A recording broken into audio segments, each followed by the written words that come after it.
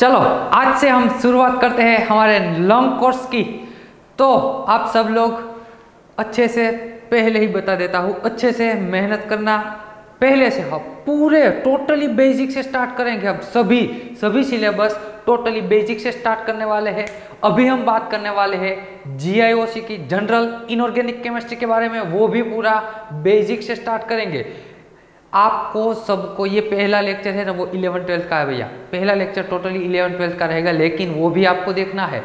वो भी आपको अच्छे से देखना है। आपका पूरा कंप्लीट इलेवन ट्वेल्थ का इनऑर्गेनिक रिविजन करना है।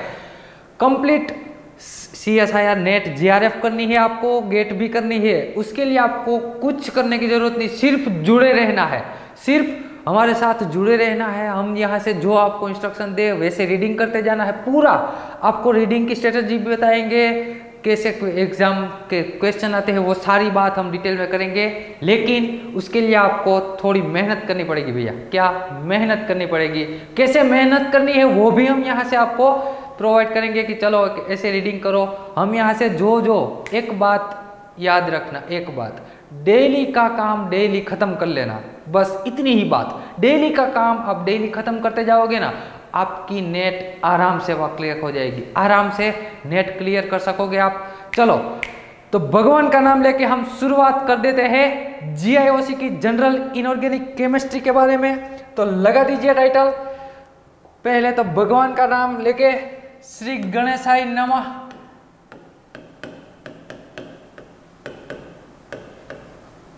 श्री गणेशाई नमः। चलो, भगवान का नाम लेके हम शुरुआत करते हैं जनरल इनऑर्गेनिक केमिस्ट्री के बारे में। तो टाइटल लगाना है आपको general inorganic chemistry general inorganic chemistry GIOC का फुल फॉर्म क्या होता है? जनरल इनऑर्गेनिक केमिस्ट्री आपने जीओसी में पढ़ा है जनरल ऑर्गेनिक केमिस्ट्री वैसे ही इनऑर्गेनिक में जनरल इनऑर्गेनिक केमिस्ट्री तो इसमें पूरे बेसिक के साथ चलो, शुरुआत कर देते हैं हम पूरे बेसिक के साथ। हिस्ट्री ऑफ़ एटम पहला पॉइंट क्या है हमारा? हिस्ट्री ऑफ़ एटम कि भैया, ये एटम का मामला क्या है? ये एटम है क्या एक्चुअल में? तो ये history of atom atom word आया कहाँ से भैया पहले? तो एटम वर्ड हमें दिया किसने? तो कि भाई डेमोक्रेटस नाम के साइंटिस्ट थे, ये जो एटम वर्ड आया हमारे पास, एटम वर्ड, वो किसने दिया? तो कि डेमोक्रेटस नाम के साइंटिस्ट थे, डेमोक्रेटस नाम के साइंटिस्ट ने हमें इसका एटम जैसा वर्ड हमें प्रोवाइड किया, और वो भी कहाँ से आया? एटम वर्ड, ये डेमोक्रेटस ने कहाँ से दिया? तो कि भैया एटम एटम वर्ड जो आया ना, वो आया एटोमोस से। कहाँ से आया? एटोमोस एटोमोस यानी कि ग्रीक लैंग्वेज का वर्ड है ये। किस, कौन सी लैंग्वेज है भैया? ग्रीक लैंग्वेज का वर्ड है ये। ग्रीक लैंग्वेज में एटोमोस एटोमोस से आया हमारा एटम वो वर्ड किसने दिया? तो कि भाई डेमोक्रेटस नाम के साइंटिस्ट ने, बहुत बड़े फिलोसोफर थे। इन्होंने हमें ये वर्ड दिया। ये एटोमोस का मतलब क्या है? एटोमस है, उसका मतलब है क्या? एटोमोस यानी ग्रीक लैंग्वेज में उसका मतलब एटोमोस का मतलब क्या होता है? इनविजिबल। क्या होता है भैया? इनविजिबल।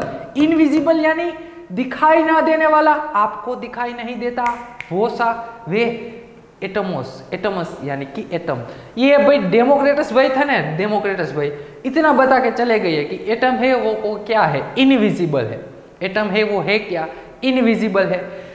फिर आए हमारे भाई, कौन से वाले भाई? हमारे भाई आइए, जॉन डाल्टन। John Dalton. सभी ने, आप सभी ने इसका नाम तो सुना होगा। जॉन डाल्टन आइए। ये भाई ये भाई ने हमें एक बात बताई। इन्होंने भी डेमोक्रेटस वाली बात को एग्री किया। डेमोक्रेटस साइंटिस्ट ने जो बताया था कि एटम है, वो इनविजिबल है। ये डाल्टन ने भी उसको एक्सेप्ट किया कि चलो एटम इनविजिबल है, लेकिन उसमें इन्होंने कुछ और जोड़ दिया। क्या जोड़ दिया? कि भैया, इन्होंने कहा कि चलो, डेमोक्रेटस जी, आपकी बात सही है कि एटम इनविजिबल है, लेकिन साथ ही साथ इंडिविजिबल भी है। क्या है भैया? एटम इंडिविजिबल भी है। इन्होंने ये सेंटेंस दिया। डाल्टन ने क्या कहा? एटम इनविजिबल तो है ही, लेकिन साथ ही साथ एटम इंडिविजिबल भी है। इंडिविजिबल का मतलब क्या होता है? कि दिखाई ना दे। पहले तो इनविजिबल यानी कि दिखाई ना दे। इंडिविजिबल यानी कि आप उसको डिवाइड नहीं कर सकते। क्या? आप उसे डिवाइड नहीं कर सकते। ये इंडिविजिबल हो गया। फिर इन्होंने एक बात और बताई। दूसरा एक पॉइंट बताया। कि आप कोई भी एलिमेंट ले लीजिए। दुनिया में से कोई भी एलिमेंट ले लेना, कोई भी एलिमेंट। चलो, मैं ले लेता हूँ क्लोरीन। मैंने दो क्लोरीन ले लिए। दो एलिमेंट ले लिए। सेम एलिमेंट है ना? Chlorine chlorine. ये दोनों की सभी प्रॉपर्टी सेम होगी। क्या होगी?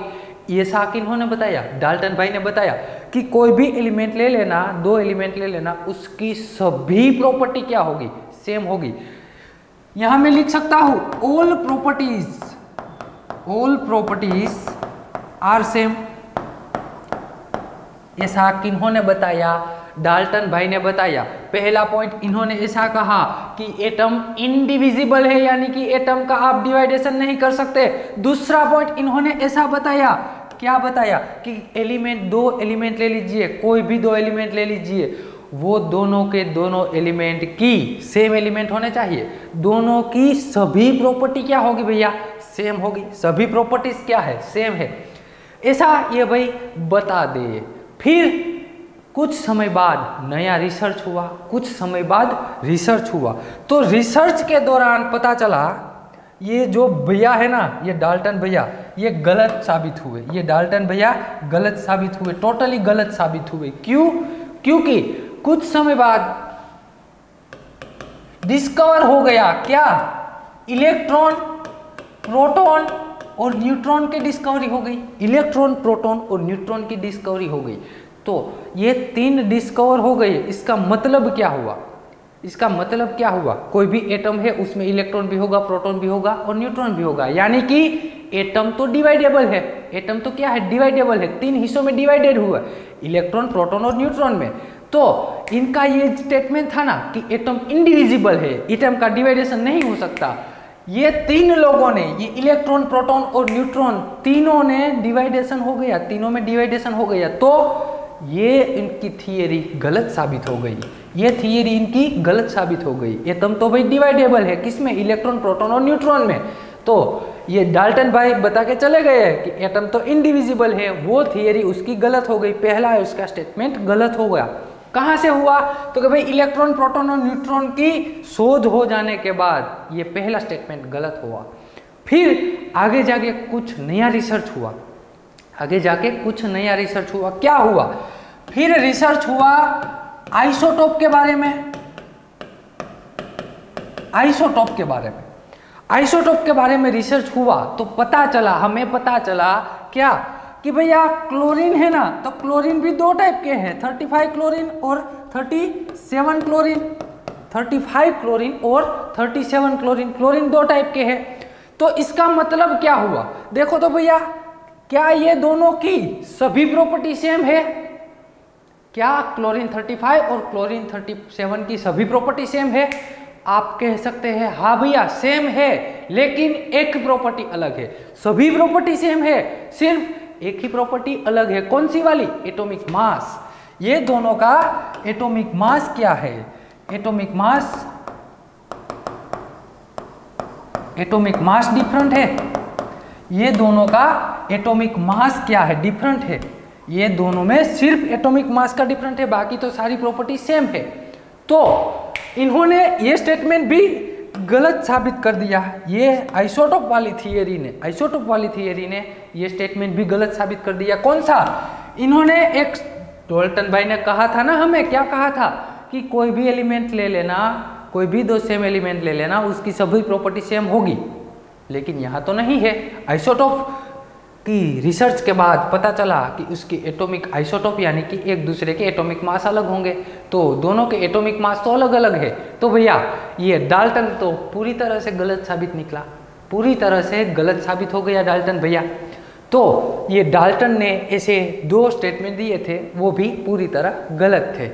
वो गलत कहाँ से हुए? तो भैया इलेक्ट्रॉन प्रोटॉन और न्यूट्रॉन की शोध के बाद पहला स्टेटमेंट गलत हो गया। फिर आइसोटोप के शोध के बाद आइसोटोप का रिसर्च हुआ। तब ये स्टेटमेंट भी उसका गलत हो गया, ये स्टेटमेंट भी गलत हो गया। चलो, आगे बात करते हैं। फिर आते हैं हमारे कौन से भाई? जे जे थॉम्सन नाम तो सुना होगा आपने इसका। जे जे थॉम्सन जे जे थॉम्सन ये कब आए भैया?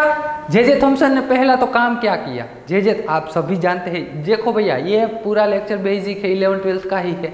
सिर्फ़ आपको थोड़ा थोड़ा बेसिक जो आप भूल गए हैं, वो याद दिलाने के लिए है। इसमें कुछ बड़ी बात है नहीं। जे जे थॉम्सन ने, आप जानते हैं ना, किसकी शोध की? Electron discovery discovery of electron. इन्होंने इलेक्ट्रॉन की शोध की। जे जे थॉम्सन ने कब की? 1897 में। 1897 में इन्होंने इलेक्ट्रॉन की शोध की। यदि आपको कोई ऐसी बेसिक एग्ज़ाम पूछ ले बेसिक या जनरल नॉलेज के लिए ऐसी एग्ज़ाम आए, उसमें पूछ सकते हैं, क्या कि इलेक्ट्रॉन की शोध किसने की? भैया तो जे जे थॉम्सन ने इलेक्ट्रॉन की शोध की। तो ये तो बात हो गई इलेक्ट्रॉन के बारे में। लेकिन कुछ साल बाद ये भैया अपने घर पे नहीं बैठे, ये भैया अपने घर पे नहीं बैठे लेबोरेटरी में ही काम करते रहे। थॉम्सन भैया ने एटम का मॉडल दिया फ़र्स्ट मॉडल ऑफ़ एटम ये थॉम्सन भैया है ना, इन्होंने हमें मॉडल दिया। फ़र्स्ट मॉडल ऑफ़ एटम इन्होंने पहला मॉडल दिया। एटम का पहला मॉडल देने वाला कौन है भैया? जे जे थॉम्सन भैया है हमारे। इन्होंने ऐसा कहा कि जो एटम है ना, हमारा एटम ये जो एटम है, वो positively charge and negatively charge में, दोनों में इक्वली डिस्ट्रीब्यूटेड है। हमारा एटम जो है, वो positively charge and negatively charge दोनों में इक्वली डिस्ट्रीब्यूटेड है भैया।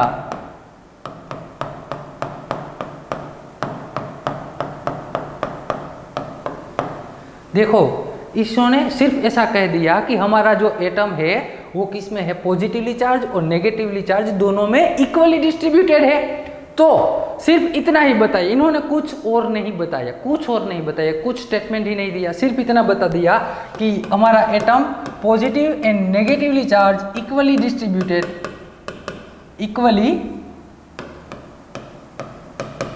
distributed है हमारा। इतना बता के चले गए और ये पहला मॉडल है एटम का। एटम का पहला मॉडल है। इस मॉडल का नाम क्या दिया था? ये थॉमसन भैया ने। ये मॉडल का नाम इन्होंने दिया plum pudding model plum pudding model plum pudding model ये क्या कहता है प्लम प्लोडिंग मॉडल थॉमसन भैया ने दिया है। सिर्फ़ ये बेसिक ही बात याद रखनी है कि प्लम प्लोडिंग मॉडल किसने दिया? तो कि भैया प्लम प्लोडिंग मॉडल दिया किसने? जे जे थॉमसन भैया ने। कि, किस कौन सी साल में? 1904 में। 1904 में इन्होंने पहला एटम का मॉडल दिया और वो मॉडल में सिर्फ़ एक ही स्टेटमेंट दिया कि positively charge and negatively charge atom में इक्वली डिस्ट्रीब्यूटेड है। इक्वली डिस्ट्रीब्यूटेड है। लेकिन ये पूरा मॉडल आखिर में गलत साबित हो गया। क्यों ऐसा हुआ? आइए देखते हैं। देख लेना, ये लिख लेना, चलो। पहले ये लिख लेना प्लम प्लूडिंग मॉडल है, लेकिन ये गलत साबित हो गया। गलत साबित हुआ क्यों? क्योंकि आखिर में भैया आइए हमारे। आप सभी लोग जानते हैं ना, हमारे रूथरफोर्ड कौन आए भाई? बाद में आइए हमारे Rutherford Ernest Rutherford Ernest Rutherford आए। अर्नेस्ट रूथरफोर्ड कौन है? कौन है? अरे, आपको मालूम होना चाहिए ये कौन है। ये भैया ने न्यूट्रॉन की शोध की थी। Discovery of discovery of neutron. Discovery of neutron की शोध की थी इन्होंने। अर्नेस्ट रूथरफोर्ड ने आपको क्या हमें दिया, क्या हमें? न्यूट्रॉन की शोध करके दिया। कैसे शोध किए? चलो। देखते हैं। इन्होंने एक एक्सपेरिमेंट किया। इन्होंने एक एक्सपेरिमेंट किया। कौन सा? इन्होंने एक गोल्ड की फॉइल ले ली। गोल्ड की पतली फॉइल ले ली। आराम से। बहुत ही पतली फॉइल गोल्ड की। क्योंकि महँगा है ना भैया गोल्ड इसलिए वो उन्होंने प्रैक्टिकल करने के लिए एक्सपेरिमेंट निकलने के लिए बहुत ही पतली फॉइल ली गोल्ड की। और उसमें क्या किया? उसमें उन्होंने अल्फ़ा पार्टिकल अल्फ़ा पार्टिकल इस पे इंसर्ट करवाइए। कौन से वाले भैया? अल्फ़ा पार्टिकल अल्फ़ा पार्टिकल इन्होंने इंसर्ट ये गोल्ड की फॉइल पर करवाए अल्फ़ा पार्टिकल और आप जानते हैं ना अल्फ़ा पार्टिकल यानी कौन? हीलियम भैया हमारे। कौन से भैया? Helium four H two helium helium यानी कि अल्फ़ा पार्टिकल वो गोल्ड की फॉइल पे इंसर्ट करवाइए यानी कि उस पर मारा किया। बहुत सारे अल्फ़ा पार्टिकल का गोल्ड की फॉइल पे मारा किया। तो क्या हुआ? आखिर में रीजन क्या आया? तो भैया, यहाँ से उसे पता चला, यहाँ से उसे पता चला कि कितने सारे अल्फ़ा पार्टिकल यहाँ से पास हो गए, यहाँ से चले गए।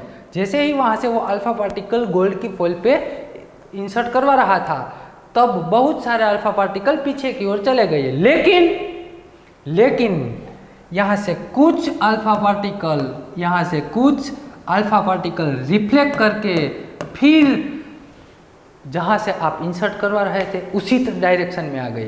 यानी कि रिफ्लेक्ट हो गए। क्या हो गए? यानी कि रिफ्लेक्ट हो गए। गोल्ड की फॉल से अथड़ा कर एक्सीडेंट होकर फिर से रिफ्लेक्ट करके अपने घर चले गए।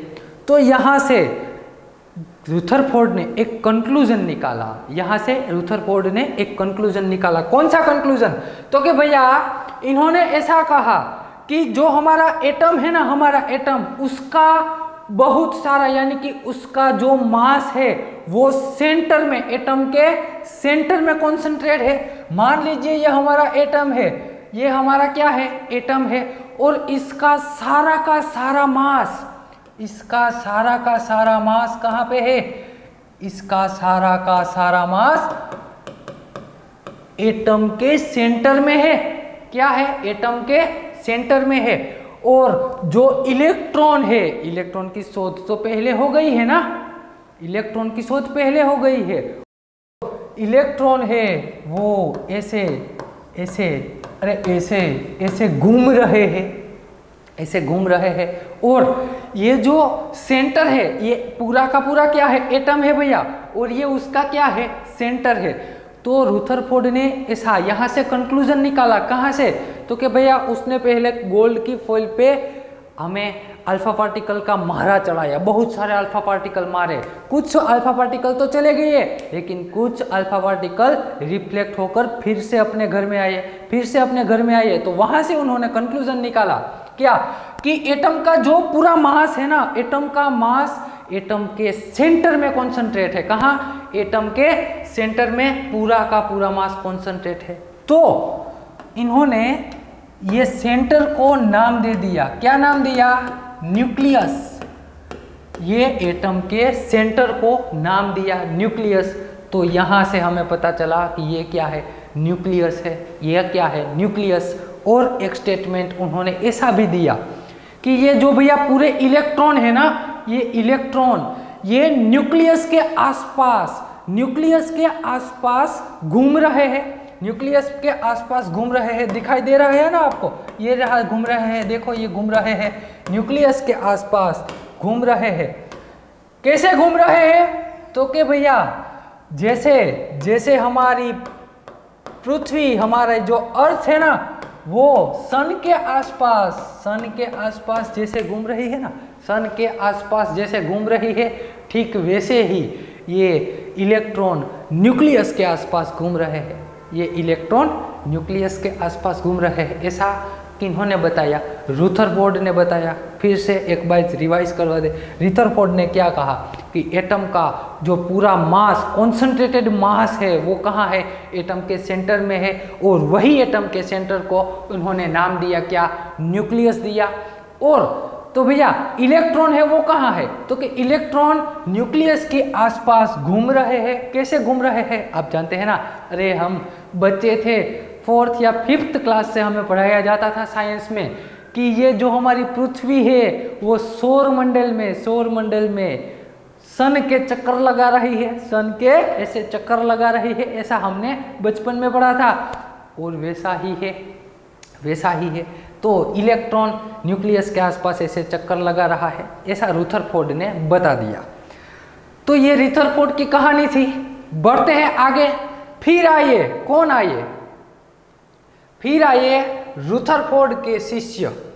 रुथरफोर्ड के ही शिष्य आए Niels Bohr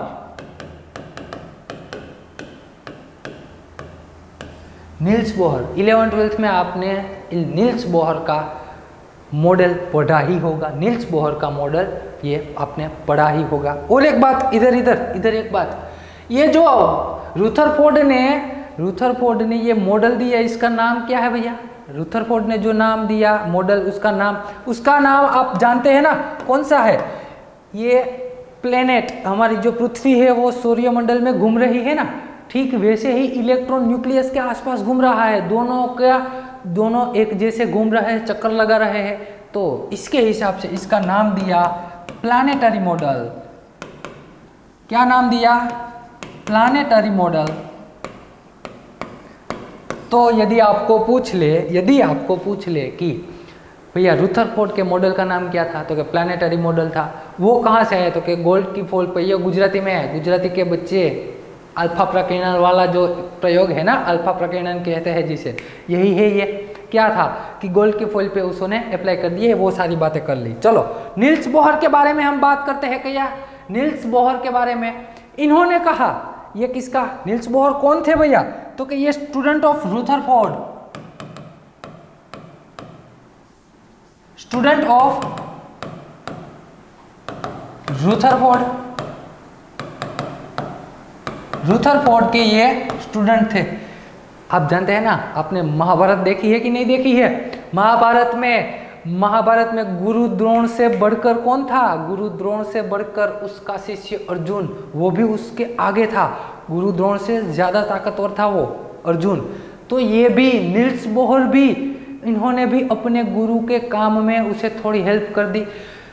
गुरु के काम में हेल्प कर दी। इन्हें गुरु ने, रुथरफोर्ड ने हमें अभी अभी बताया ना कि जो हमारा मॉडल है, ये इलेक्ट्रॉन का न्यूक्लियस है, ये एटम का न्यूक्लियस है, और इसके आसपास इलेक्ट्रॉन घूम रहे हैं, ऐसा किसने बताया? रुथरफोर्ड ने बताया। लेकिन नील्स बोहर ने बताया पर्टिकुलर कह दिया कि चलो, मान लेते हैं गुरुजी, आपकी बात सही है कि इलेक्ट्रॉन घूम रहे हैं न्यूक्लियस के आसपास इलेक्ट्रॉन घूम रहे हैं, ये बात आपकी सही है गुरुजी। लेकिन इलेक्ट्रॉन ऐसे ही नहीं घूम रहे हैं। इलेक्ट्रॉन निश्चित पाथ में घूम रहे हैं। उसकी जो पाथ है घूमने का, वो पर्टिकुलर फिक्स है। ये जो इलेक्ट्रॉन घूम रहे हैं ना, उसका पाथ फिक्स है भैया। इसका पाथ क्या है? फिक्स है। ऐसा नील्स बोहर ने बता दिया कि इलेक्ट्रॉन पर्टिकुलर पाथ में घूम रहे हैं। ऐसे ही नहीं घूम रहे हैं गुरुजी। गुरुजी ने तो बता दिया था कि वो सन के आसपास ऐसे चक्कर लगा रहे हैं। ऐसा नहीं है। वो इलेक्ट्रॉन का जो पाथ है, वो फिक्स है। वो उसी के पाथ में घूमता है। तो यहाँ पे इलेक्ट्रॉन है और ये जो पाथ में घूम रहे हैं, उसी पाथ को नील्स बोहर ने नाम क्या दे दिया? उसको कह दिया उन्होंने ऑर्बिट क्या कहा भैया उसने? ऑर्बिट ये पाथ को नील्स बोहर ने नाम दिया ऑर्बिट जो पाथ में इलेक्ट्रॉन चक्कर लगा रहे हैं, उसे ऑर्बिट का नाम दे दिया। अब क्या होता है? ये नील्स बोहर का आपने इलेवन, ट्वेल्थ में बहुत सारे पढ़े हैं ना, ये तो सिर्फ़ बेसिक आपको रिवाइज करने के लिए। नील्स बोहर ने यह भी कहा था कि यदि यदि आप ये सबसे अंदर वाली, सबसे अंदर वाली जो ऑर्बिट है, वहाँ पे जो इलेक्ट्रॉन है मैंने उस पर लाइट इंसर्ट कर दी भैया। क्या इंसर्ट कर दी? उस पर मैंने लाइट उस, उसको लाइट दी, यानी कि उसे एनर्जी प्रोवाइड की। तो अब इलेक्ट्रॉन क्या करेगा? अब ये इलेक्ट्रॉन है ना एनर्जी गेन करेगा। ये अंदर वाला इलेक्ट्रॉन एनर्जी गेन करके बाहर की ऑर्बिट में चला आएगा। कहाँ आएगा? बाहर की ऑर्बिट में चला आएगा। और यदि ये इलेक्ट्रॉन बाहर की ऑर्बिट में है, इसे अंदर जाना है इसे अंदर जाना है, इसे मान लीजिए अंदर जाना है तो इसे कुछ एनर्जी इमिट करनी होगी। इसे कुछ एनर्जी इमिट करनी होगी। तो ये बात थी नील्स बोहर की। नील्स बोहर क्या था? रूथरफोर्ड के स्टूडेंट थे। इन्होंने पर्टिकुलर कह दिया कि इलेक्ट्रॉन जहाँ पे भी चक्कर लगा रहा है, उसका पाथ निश्चित है भैया। वो पर्टिकुलर पाथ में घूम रहा है और वो पाथ को इन्होंने नाम दे दिया। क्या? ऑर्बिट का नाम दे दिया। वो पाथ को इलेक्ट्रो इन्होंने नाम दिया ऑर्बिट का। तो चलो, इतना बेसिक था भैया। चलो, पहले काम कीजिए ना, ये लिख लीजिए। पहले से आप काम कीजिए, इतना लिख लीजिए। फिर हम आगे देखते हैं। पहली बात किसने हिस्ट्री ऑफ़ एटम से शुरुआत की? फिर जॉन डाल्टन आए, ये भी लिख लेना। आपके बुक में लिखना है भैया। दो हो भैया, पहले लेक्चर में ही मैं आपको कह देता हूँ कंप्लीट आपको लिख के ही तैयारी करनी है। ऐसा नहीं कि चलो देख के चले जाते, ऐसा नहीं। कंप्लीट लिख के ही तैयारी करनी है। तो लिखते ही जाना है साथ में, और एक बात, साथ में ही रहना है, पढ़ाई में साथ ही में ही रहना है। डेली टू डेली आपको काम करते जाना है। फिर जे जे थॉम्सन आए, इन्होंने इलेक्ट्रॉन की शोध की, उन्होंने पहला मॉडल दिया प्लम प्लूडिंग मॉडल जिसे कहते हैं। फिर आए हमारे अर्नेस्ट रूथरफोर्ड इन्होंने अल्फ़ा वाला एक्सपेरिमेंट किया, alpha particle gold gold foil पे अप्लाई किए, कुछ पार्टिकल रिफ्लेक्ट हो गए, फिर क्या हुआ? इन्होंने कंक्लूजन निकाला और कहा कि एटम का जो पूरा मास कॉन्सेंट्रेटेड मास है, वो एटम के सेंटर में है और एटम के सेंटर को उन्होंने पर्टिकुलर नाम दे दिया, उसे न्यूक्लियस कहा और इलेक्ट्रॉन उसके आसपास प्लानट फॉर्म में, यानी कि सौर मंडल में जैसे घूम रहा है, वैसे घूम रहा है। ये प्लानिटरी मॉडल हो गया, फिर आया हमारा नील्स बोहर तो चलो, ये लिख लेना, देखते हैं, ये लिख लेना, बाद में हम देखते हैं, चलो। तो चलो, अब बात करते हैं आगे। अब हमने जो पढ़ा, हमने जो पढ़ा, उसमें तीन तीन भैया, कौन से वाले? तीन मॉडल हमने पढ़े ना। पहला तो plum pudding model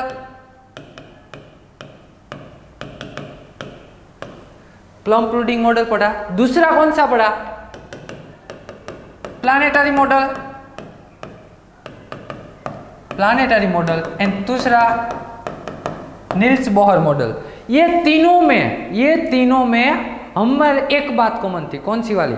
कि हमने जो इलेक्ट्रॉन को कंसीडर किया है, ये तीनों मॉडल में हमने जो इलेक्ट्रॉन को कंसीडर किया है, वो कौन सा है भैया? वो पार्टिकल इलेक्ट्रॉन को हमने जो कंसीडर किया है ना, वो पार्टिकल नेचर में है। पार्टिकल नेचर में, किसमें?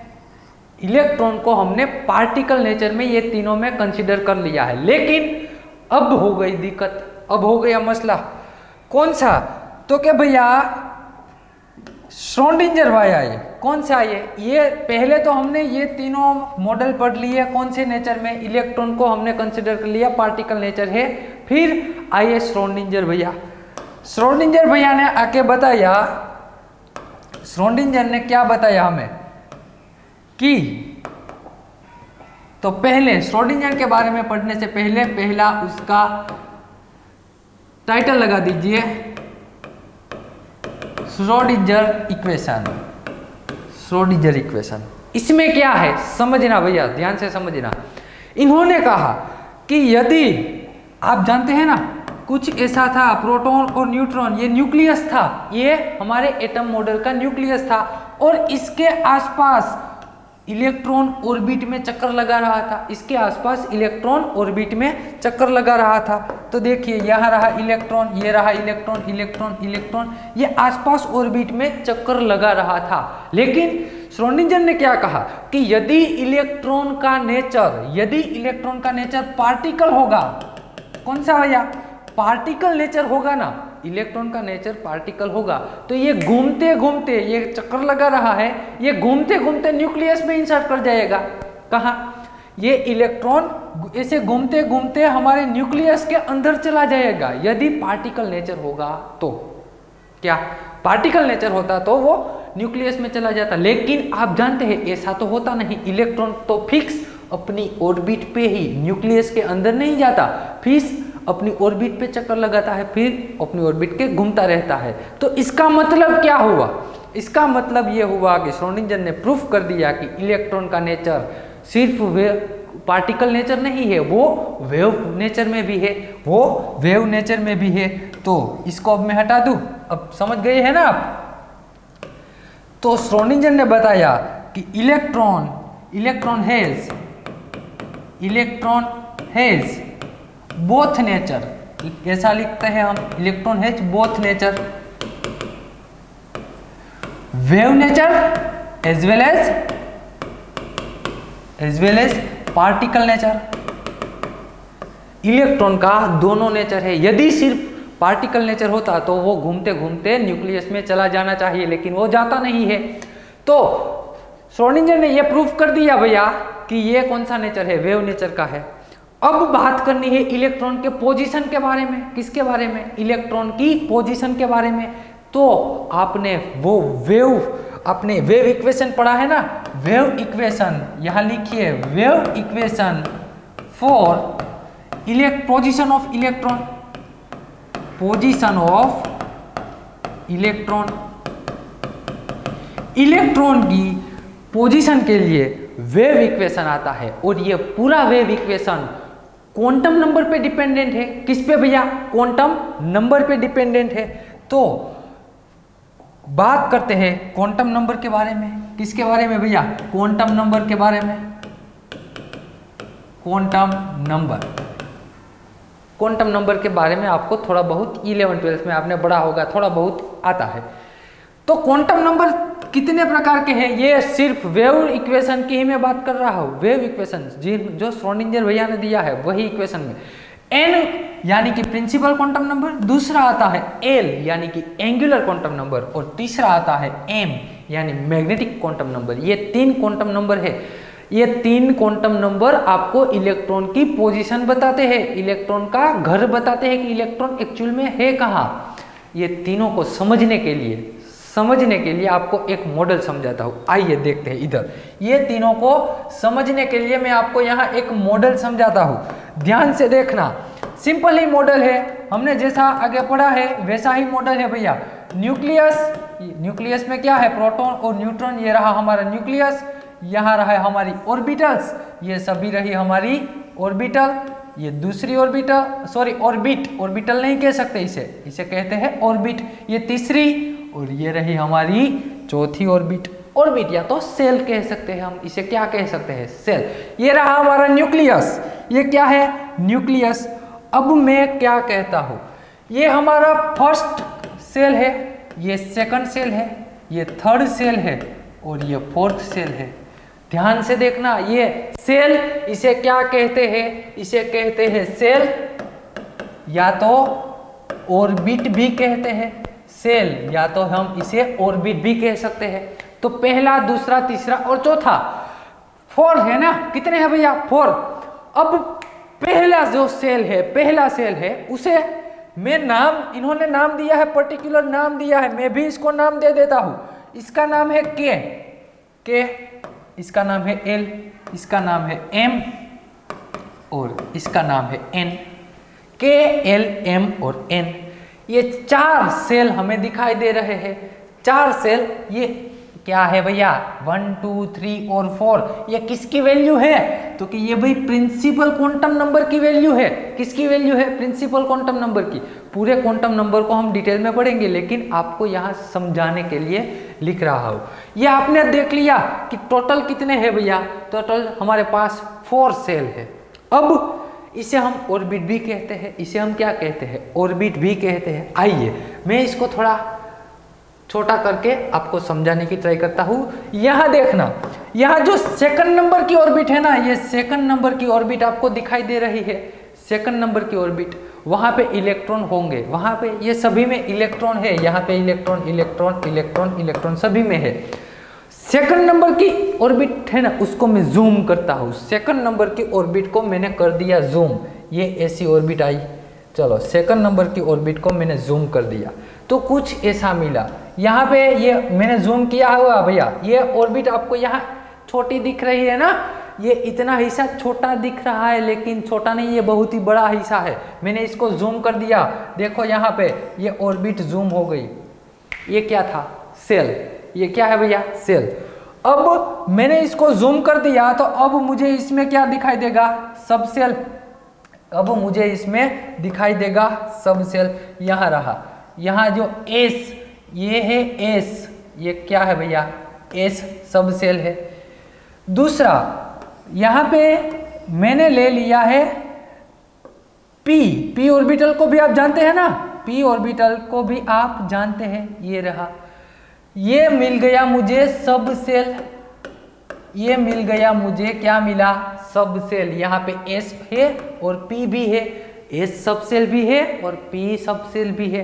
तो n principal quantum number n से मुझे पता चला कि वो कौन सी ऑर्बिट है, कौन सी ऑर्बिटल कौन सी ऑर्बिट है? चलो फ़र्स्ट सेकंड थर्ड और फोर्थ और यहाँ सब सेल क्या इंफॉर्मेशन देता है? सब सेल इंफॉर्मेशन हमें देता है एल के बारे में एंगुलर क्वांटम नंबर के बारे में। यहाँ मैं लिख सकता हूँ एल एंगुलर क्वांटम नंबर के बारे में सबसेल से इंफॉर्मेशन मिलती है। सबसेल से हमें एंगुलर क्वांटम नंबर के बारे में इंफॉर्मेशन मिलती है। बा, आगे बढ़ते हैं, आगे बढ़ते हैं।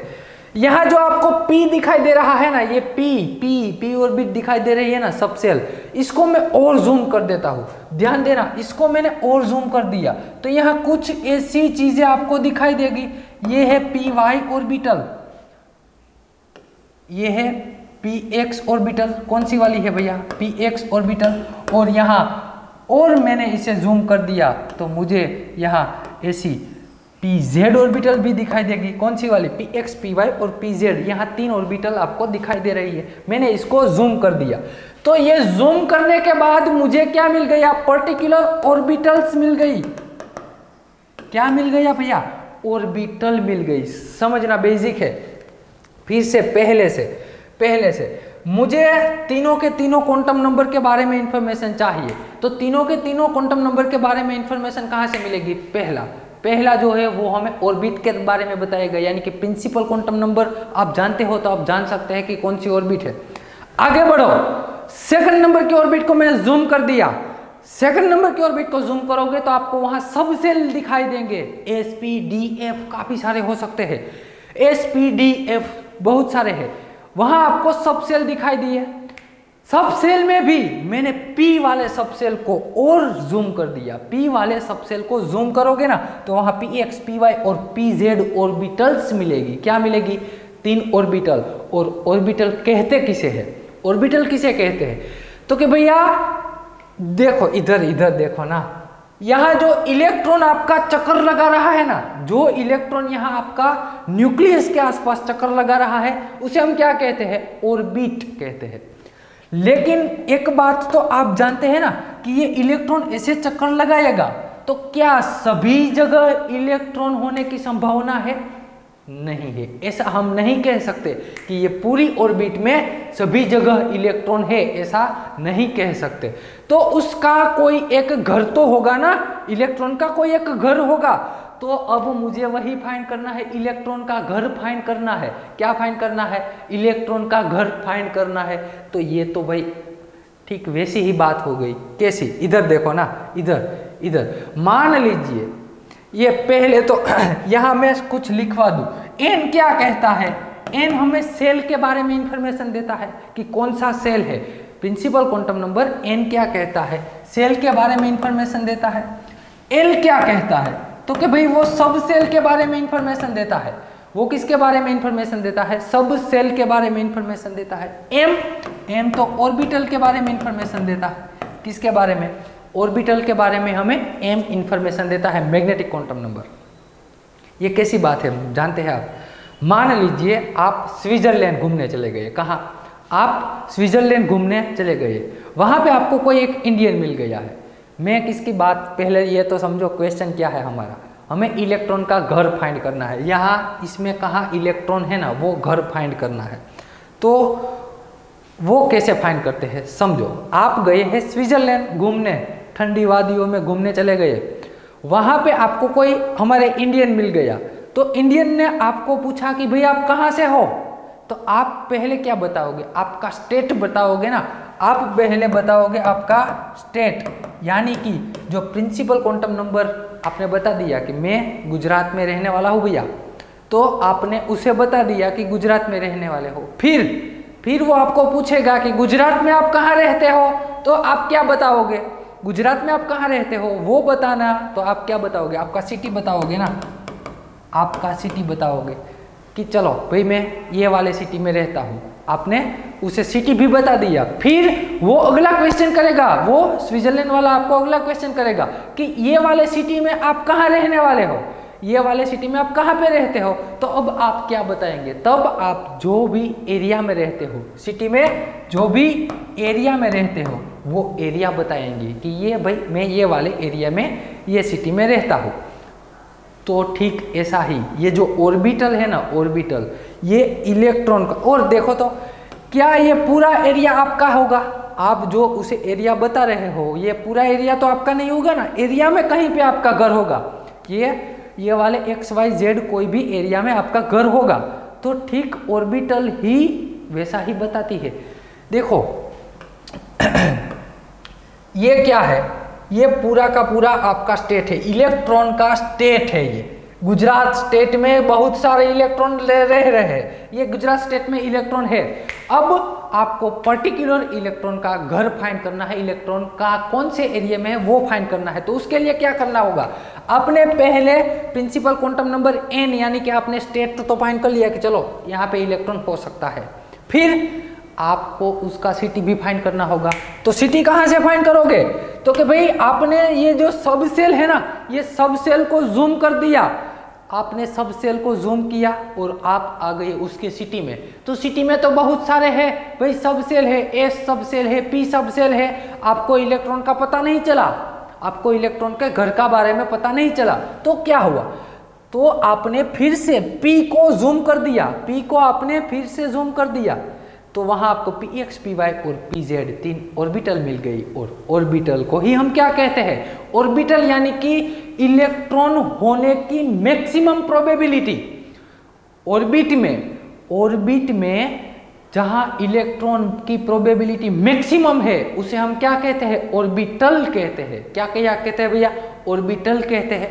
तो ये बात हो गई किसके बारे में भैया? ऑर्बिट ऑर्बिटल के बारे में। तो यही बात है ना? यही बात है इधर। इधर यही बात है। पहले आपने स्टेट बताया, फिर सिटी और फिर एरिया बताया। और एक बात बता दूँ। यदि आप पर्टिकुलर फाइन नहीं कर सकते कि इलेक्ट्रॉन का घर यही है, क्यों?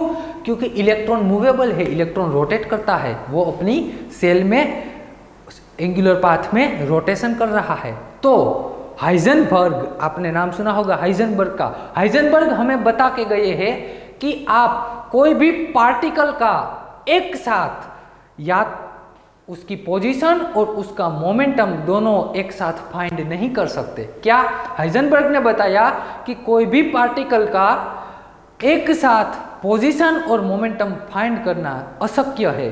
तो या तो आप उसकी पोजीशन फाइंड कर सकते हैं, या तो इसका मोमेंटम फाइंड कर सकते हैं। तो इलेक्ट्रॉन जो ऑर्बिटल है, वो हमें इलेक्ट्रॉन होने की संभावना दर्शाता है। उसका घर नहीं दर्शा सकता। उसका एरिया हमें बता सकता है कि ये एरिया में इलेक्ट्रॉन होने की संभावना मैक्सिमम है और उसी एरिया को हम क्या कहते हैं? ऑर्बिटल कहते हैं। उसी एरिया को हम ऑर्बिटल कहते हैं। तो ये बात हो गई भैया। सिंपल हाइजनबर्ग वाले कॉन्सेप्ट की। और एक बात बता दूँ, और एक जनरल नॉलेज के लिए बता दूँ। आप मान लीजिए ये इलेक्ट्रॉन है, ये इलेक्ट्रॉन है हमारा। इधर इधर ही देखो ना, ये रहा हमारे पास मॉडल तो है ही। ये जो इलेक्ट्रॉन है ना, आप जानते हैं ना भैया, ये इलेक्ट्रॉन ऐसे पाथ में रोटेशन कर रहा है। चक्कर लगा रहा है, किसके भैया? न्यूक्लियस के चक्कर लगा रहा है। चलो, समझ गए आप? ये इलेक्ट्रॉन है ना, ये न्यूक्लियस के ऐसे चक्कर लगा रहा है। तो वो न्यूक्लियस के अराउंड तो चक्कर लगा ही रहा है, लेकिन साथ उसकी इलेक्ट्रॉन की खुद की एक्सिस पे भी वो रोटेशन कर रहा है। कैसे? ये इलेक्ट्रॉन है ना? चलो ये ऐसे तो घूम ही रहा है, ये इलेक्ट्रॉन ऐसे तो घूम ही रहा है, लेकिन साथ ही साथ वो उसकी एक्सिस पे भी रोटेशन कर रहा है। इसका मतलब क्या? सिंपल बात। आप बचपन से जानते हैं कि ये जो हमारी अर्थ है, वो सूर्य के आसपास तो चक्कर, सूर्य की ऑर्बिट में सन की ऑर्बिट में तो चक्कर लगा ही रही है। लेकिन हमारी अर्थ अपनी खुद की एक्सिस पे भी रोटेशन कर रही है। यानी कि इलेक्ट्रॉन दो तरह के रोटेशन कर सकता है। जो रोटेशन होगा वो दो तरह का, या तो क्लॉकवाइज होगा, या तो एंटी क्लॉकवाइज होगा। अपनी अक्सिस पे दो तरह के रोटेशन कर सकता है। ये रही उसकी अक्सिस ये रहा इलेक्ट्रॉन मान लीजिए ये क्लॉकवाइज रोटेशन कर रहा है। कौन सा भैया? क्लॉकवाइज रोटेशन कर सकता है। तो आपने इसे कह दिया कि इसका, आप जानते हैं ना टोटल क्वांटम नंबर तो चार होते हैं। स्पिन क्वांटम नंबर यहाँ से डिसाइड होता है। S s for spin quantum number लेकिन ये स्पिन क्वांटम नंबर सोनिंजर भैया ने नहीं दिए है। ये उसकी देन नहीं है। उसने नहीं दिया हुआ है। तो इलेक्ट्रॉन की खुद की एक्सिस पर रोटेशन क्लॉकवाइज हुआ तो आपने वन बाई टू किया प्लस वन बाई टू और मान लीजिए ये एंटी क्लॉकवाइज घूम रहा है। इलेक्ट्रॉन अपनी ही एक्सिस पे एंटी क्लॉकवाइज घूम रहा है। तो आपने उसे कह दिया कि उसकी स्पिन उसकी स्पिन क्या होगी? माइनस वन बाई टू आप ऐसा बोल सकते हैं। अरे, है, बोल दिया ना आपने? नहीं भैया, आप गलत हो। आप गलत हो। आप पर्टिकुलर ऐसा नहीं कह सकते। आप पर्टिकुलर ऐसा नहीं कह सकते कि ये क्लॉकवाइज घूम रहा है, इसीलिए प्लस वन बाई टू है, और ये एंटी क्लॉकवाइज घूम रहा है, इसीलिए माइनस वन बाई टू है। ऐसा कहना बिल्कुल गलत है भैया। क्यों? क्योंकि मान लीजिए, आप ऐसी दो प्रोबेबिलिटी है, दो प्रोबेबिलिटी मान लीजिए ये इलेक्ट्रॉन क्लॉकवाइज घूम रहा है। कौन सा? है क्लॉकवाइज है ना? मैंने ये इलेक्ट्रॉन को कह दिया कि इसकी स्पिन की value minus one by two है। क्या कह दिया? इसकी स्पिन की value minus one by two है। तो मान लीजिए यही इलेक्ट्रॉन यदि एंटी क्लॉकवाइज घूमने लगेगा ना तो मुझे इसे प्लस वन बाई टू कहना होगा। आप कोई भी कह सकते हैं, कोई भी कह सकते हैं। स्टैंडर्ड पहला आपने क्लॉकवाइज को माइनस वन बाई टू कहा है तो उसी इलेक्ट्रॉन की एंटी क्लॉकवाइज यदि घूमेगा तो उसे प्लस वन बाई टू कहना होगा। यदि आपने क्लॉकवाइज को प्लस वन बाई टू कहा है तो इसे आप माइनस वन बाई टू कह सकते हैं। इसे आप माइनस वन बाई टू कह सकते हैं। लेकिन पर्टिकुलर ऐसा फिक्स नहीं है कि क्लॉकवाइज को ही प्लस वन बाई टू कहना होगा और एंटी क्लॉकवाइज को ही माइनस वन बाई टू ऐसा फिक्स नहीं है। आप कुछ भी कह सकते हैं। चलो, अब बढ़ते हैं हम आगे। ये सिंपल भैया बेसिक सारे के सारे मॉडल के बारे में बात हो गई। अब बात करनी है क्वांटम नंबर के बारे में। किसके? क्वांटम नंबर के बारे में। तो लगा दीजिए टाइटल पहला पहला फ़र्स्ट क्वांटम नंबर के बारे में बात करते हैं। क्वांटम नंबर तो क्वांटम नंबर भैया है कितने? टोटल चार क्वांटम नंबर है। चारे के बारे में हम बात कर लेंगे। उससे पहले पहला बात करते हैं प्रिंसिपल क्वांटम नंबर के बारे में। Principal quantum number quantum number n जिसे एन से रिप्रेजेंट करते हैं स्मॉल एन से रिप्रेजेंट करते हैं प्रिंसिपल क्वांटम नंबर को। तो ये प्रिंसिपल क्वांटम नंबर हमें क्या बताता है? प्रिंसिपल क्वांटम नंबर हमें बताता है, अब आगे देखा ना हमने प्रिंसिपल क्वांटम नंबर हमें सेल के बारे में बताता है। किसके बारे में? यानी सेल यानी कि स्टेट के बारे में बताता है कि आपका स्टेट कितना बड़ा है भैया। सेल सेल से हमें पता चलता है उसकी साइज़ के बारे में। देखा ना? अरे, भूल मत जाना, अभी अभी देखा हमने। ये पहला, दूसरा, तीसरा, ये तीन सेल है ना? ये क्या तीनों सेल की साइज़ सेम है भैया? नहीं जी ना। तीनों सेल की साइज़ अलग अलग है जी। पहले सेल की साइज़ कम, उससे बड़ी उससे बड़ी। यानी कि प्रिंसिपल क्वांटम नंबर एन से हमें पता चलता है साइज़ और एनर्जी के बारे में। किसके बारे में भैया? साइज़ और एनर्जी के बारे में हमें प्रिंसिपल क्वांटम नंबर से पता चलता है। तो ये साइज़ और एनर्जी से हमें पता चल जाएगा कि वो क्वांटम नंबर की वैल्यू क्या थी। तो क्वांटम नंबर की पॉसिबल वैल्यू हम लिख सकते हैं। क्वांटम नंबर एन है ना भैया? एन की पॉसिबल वैल्यू क्या है? तो कि भैया एन पॉजिटिव इंटीजर वैल्यू है। पॉजिटिव इंटीजर वैल्यू है।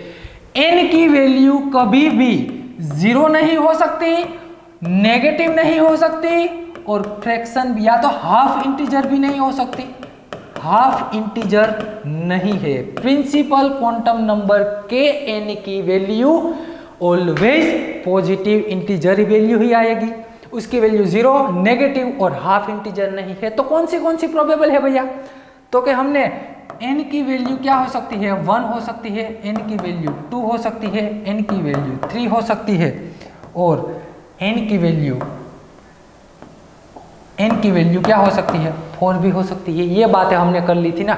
यहाँ देखो एन की वैल्यू वन होगी तो उसके लिए सेल का नाम हमने दिया था, क्या था? के टू है तो l m n n for Niral sir के एल एम एन ये चार आ गई।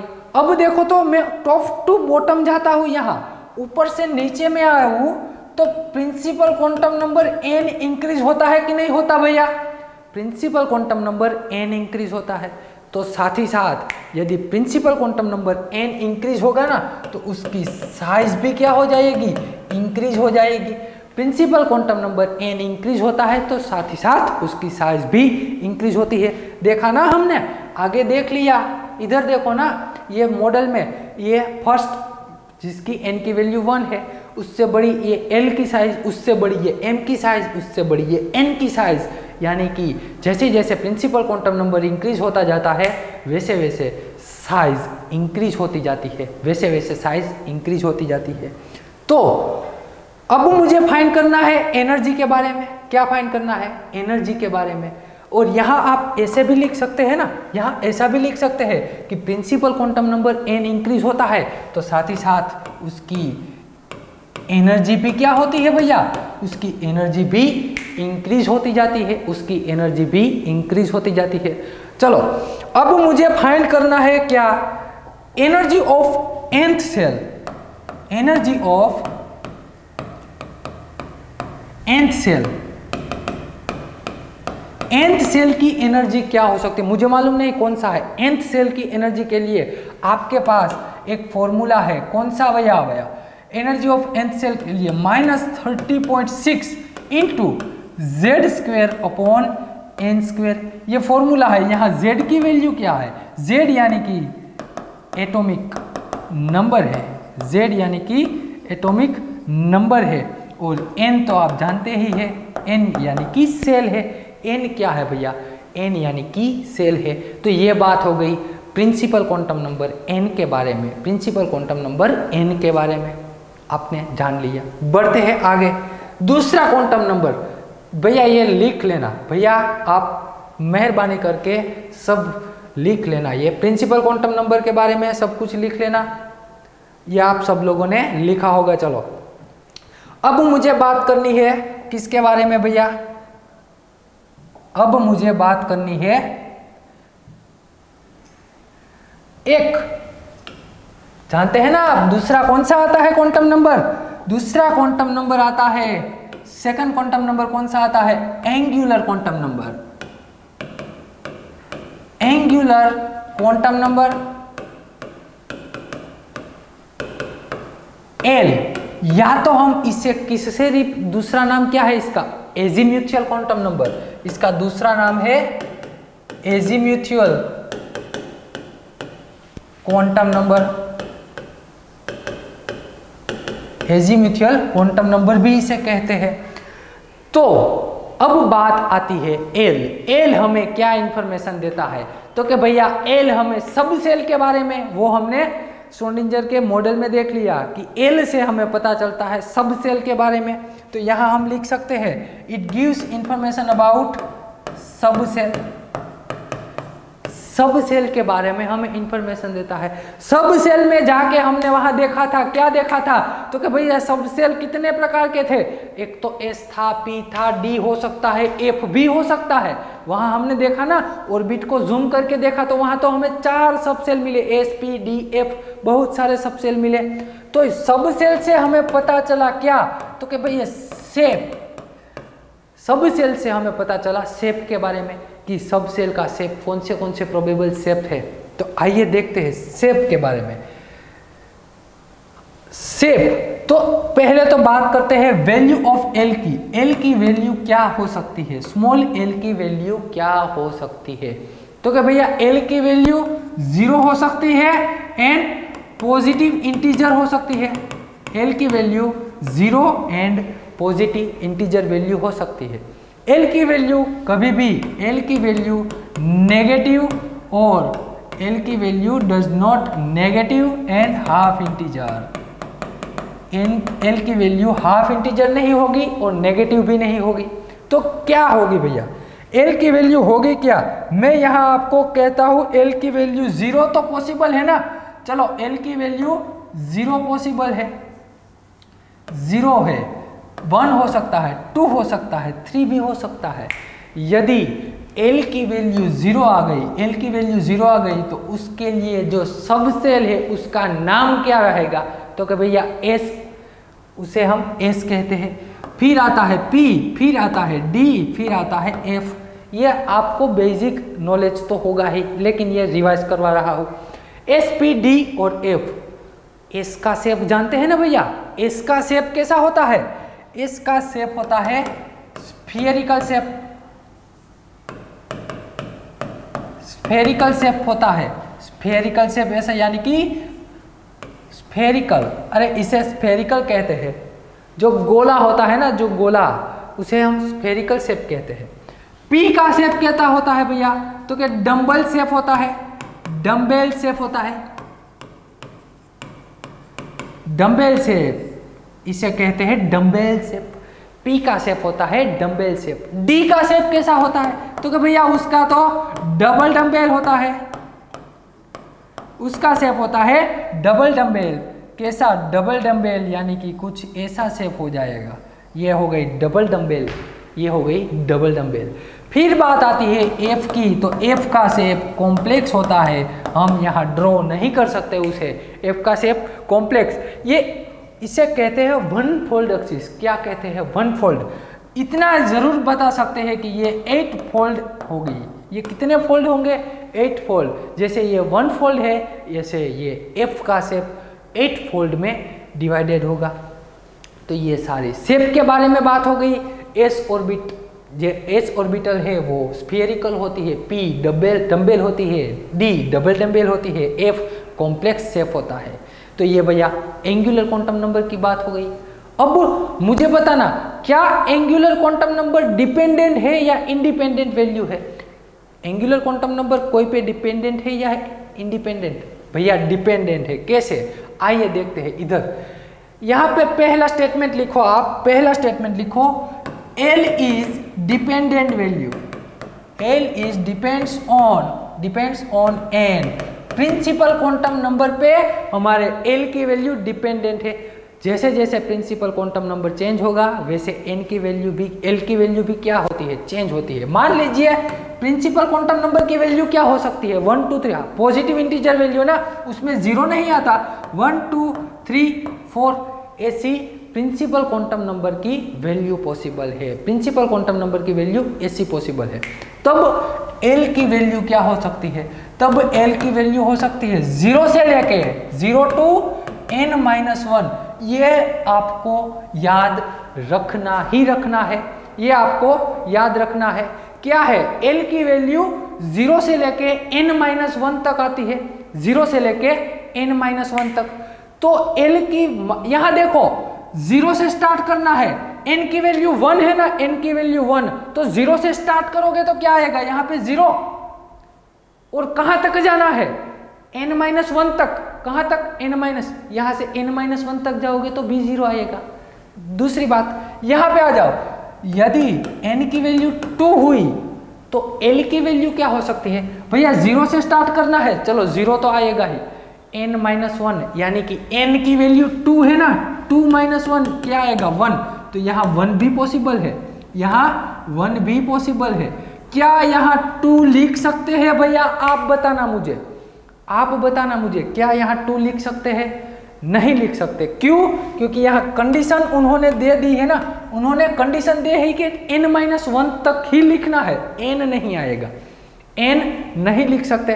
तो चलो भैया, यहाँ से दो निकाल दिए मैंने। फिर आया थ्री तो थ्री की एल की वैल्यू ज़ीरो वन और टू भी लिख सकते हैं। ज़ीरो वन और टू फोर में ज़ीरो अरे वन अरे टू थ्री लेकिन फोर नहीं आएगा। लेकिन फोर नहीं आएगा। तो एल की वैल्यू इतनी पॉसिबल है। जब एन की वैल्यू पे डिपेंडेंट है। एल की सारी वैल्यू किस पे डिपेंडेंट है? भैया एल की वैल्यू अब देखो, L की वैल्यू यदि कितनी आई, यहाँ पे आपको दिखाई दे रहा है ना, L की वैल्यू S ज़ीरो आई, यानी कि ये S ऑर्बिटल हो गई। कौन सी? वहाँ लिखा ना हमने, यदि L की वैल्यू ज़ीरो है तो S यहाँ पे ये भी S, ये भी P ऑर्बिटल ये S, ये P ऑर्बिटल और ये D ऑर्बिटल यहाँ पे S, P, D, F तो यहाँ से मुझे पता चला, यहाँ से पता चला कि यदि मेरा प्रिंसिपल क्वांटम नंबर वन होगा यदि एन की वैल्यू मेरी वन होगी तो उसमें सिर्फ़ वन एस ऑर्बिटल ही पॉसिबल है। क्या? सिर्फ़ वन एस ऑर्बिटल यदि मेरा प्रिंसिपल क्वांटम नंबर दो होगा प्रिंसिपल क्वांटम नंबर की वैल्यू दो आई तो उसमें कौन सी ऑर्बिटल आएगी? तो भैया टू एस और टू पी पॉसिबल है। यदि प्रिंसिपल क्वांटम नंबर थ्री आया तो थ्री एस भी है थ्री पी भी है और थ्री डी भी पॉसिबल है। प्रिंसिपल क्वांटम नंबर चार आया तो फोर एस भी है ना? फोर एस है, फोर पी है, फोर डी है, फोर एफ़ भी पॉसिबल है भैया। तो इतनी ऑर्बिटल पॉसिबल है यहाँ से। वो पता आपने कहाँ से लगाया? तो कि भैया प्रिंसिपल क्वांटम नंबर की वैल्यू से एक कम होगा। इतनी प्रोबेबिलिटी है एल की वैल्यू की। इतनी प्रोबेबिलिटी है किसकी भैया? एल की वैल्यू की। चलो तो ये काम कीजिए अभी। आप ये इतना लिख लीजिए ये, और भैया लिखना ज़रूरी है ये। ये लिखना ज़रूरी है। भले है ना आपने पढ़ा है, लेकिन लिखना ज़रूरी है। काम आएगा आगे। बेसिक से ही आपको सब कुछ लिखना है। जितना मैं यहाँ बोर्ड पे लिखता हूँ ना, उस, उतना आपको लिखना ही लिखना है। तभी जाके केमिस्ट्री आएगी अच्छी सी। और आपको तो अच्छी केमिस्ट्री सीखनी है, इसलिए लिखना पड़ेगा। चलो वीडियो पोस्ट करके पहला काम कीजिए, इसको लिख लीजिए। चलो तो अब हम बढ़ते हैं आगे। अब हम बढ़ते हैं आगे। यहाँ पे एक टाइटल लगा दीजिए orbital angular orbital angular momentum of momentum of electron यदि आपको इलेक्ट्रॉन की ऑर्बिटल की एंगुलर मोमेंट फाइंड करनी है तो उसके लिए सिंपल फॉर्मूला है भैया।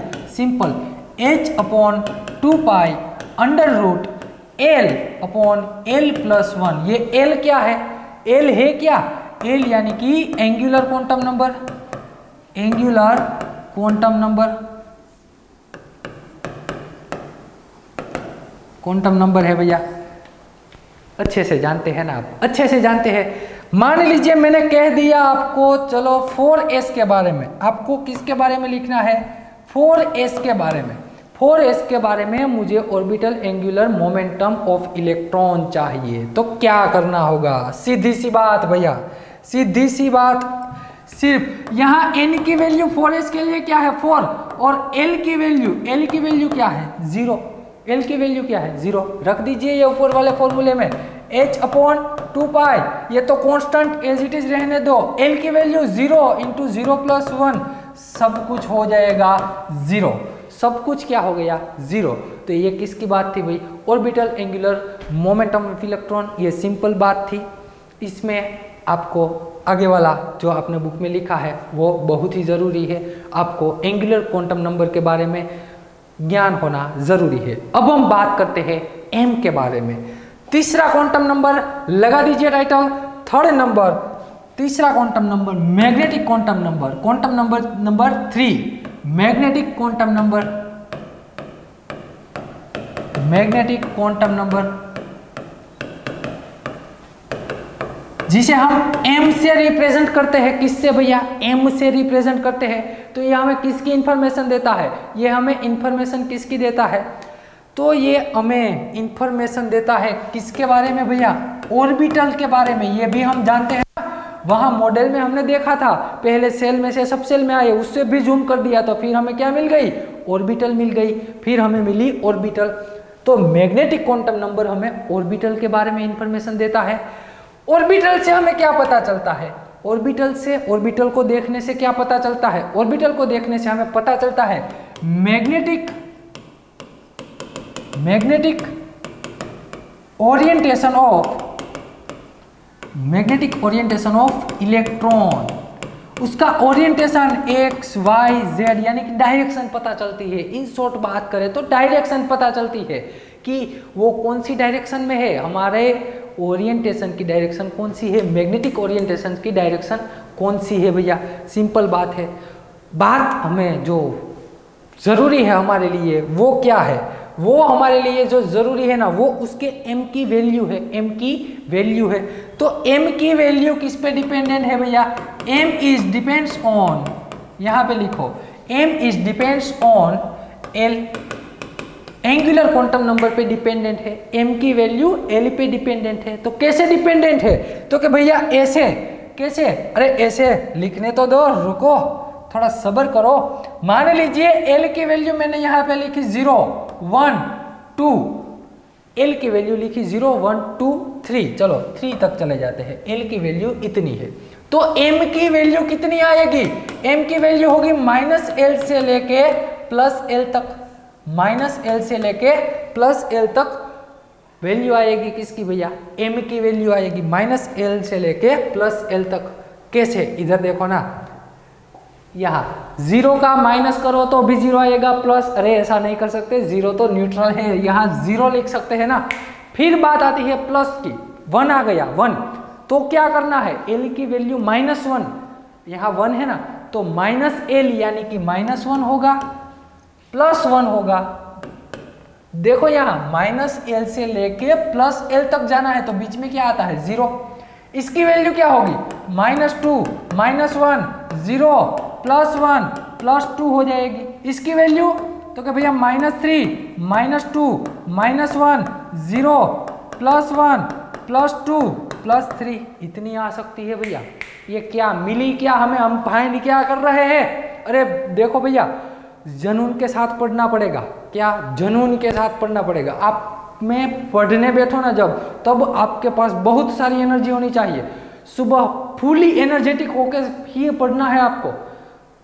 जितनी आप एनर्जी ज़्यादा दोगे ना ये पढ़ने में, उतना आप इजीली समझ पाओगे इजीली कॉन्सेप्ट समझ पाओगे, उतना आपको रिवीजन करने की भी ज़रूरत नहीं, आसानी से आप समझ सकोगे। तो हम यहाँ फाइंड कर रहे हैं टोटल नंबर ऑफ़ ऑर्बिटल क्या फाइंड कर रहे हैं? ऑर्बिटल फाइंड कर रहे हैं। यहाँ पे हमें कितनी मिली? यहाँ पे मुझे एक ऑर्बिटल मिल गई। यहाँ पे यहाँ पे बुझा मुझे तीन ऑर्बिटल मिली। यहाँ पे यहाँ पे मुझे भैया फाइव ऑर्बिटल मिल गई। कितनी है भैया? फाइव ऑर्बिटल और आप जानते हैं ना, आप जानते हैं, इसे हम पी एक्स कहते हैं पी वाई कहते हैं पी जेड कहते हैं। इसे हम क्या कहते हैं? D X Y D Y Z D Z X D X square dash Y square और डी जेड स्क्वेयर ये डी ऑर्बिटल के बारे में भी आप जानते हैं। यहाँ क्या है? ये एस ये पी और डी और ये एफ़ ये सब सेल है, ये उसकी ऑर्बिटल है। तो हम एक्चुअल में फाइंड क्या कर रहे हैं? तो कि भैया हम फाइंड कर रहे हैं कि ये जो सब सेल हमें दिए हुए हैं ना, सब सेल उसमें कितनी ऑर्बिटल आती है? एक सब सेल में कितनी ऑर्बिटल्स आती है, वो फाइंड कर रहे हैं। तो हमने यहाँ से ऐसे निकाल लिया। इसमें टोटल सब सेल कितने आई? टोटल ऑर्बिटल कितनी आई? तो कि भैया सेवन इसमें डी में फाइव आ गई पी में तीन इसमें एक ऑर्बिटल आ गई। तो ऑल ओवर मैं यहाँ आपको कंक्लूजन लिखवा दूँ। यहाँ से मुझे कंक्लूजन मिला। एक कंक्लूजन आया। क्या? तो यहाँ कंक्लूजन करके मैं लिख सकता हूँ conclusion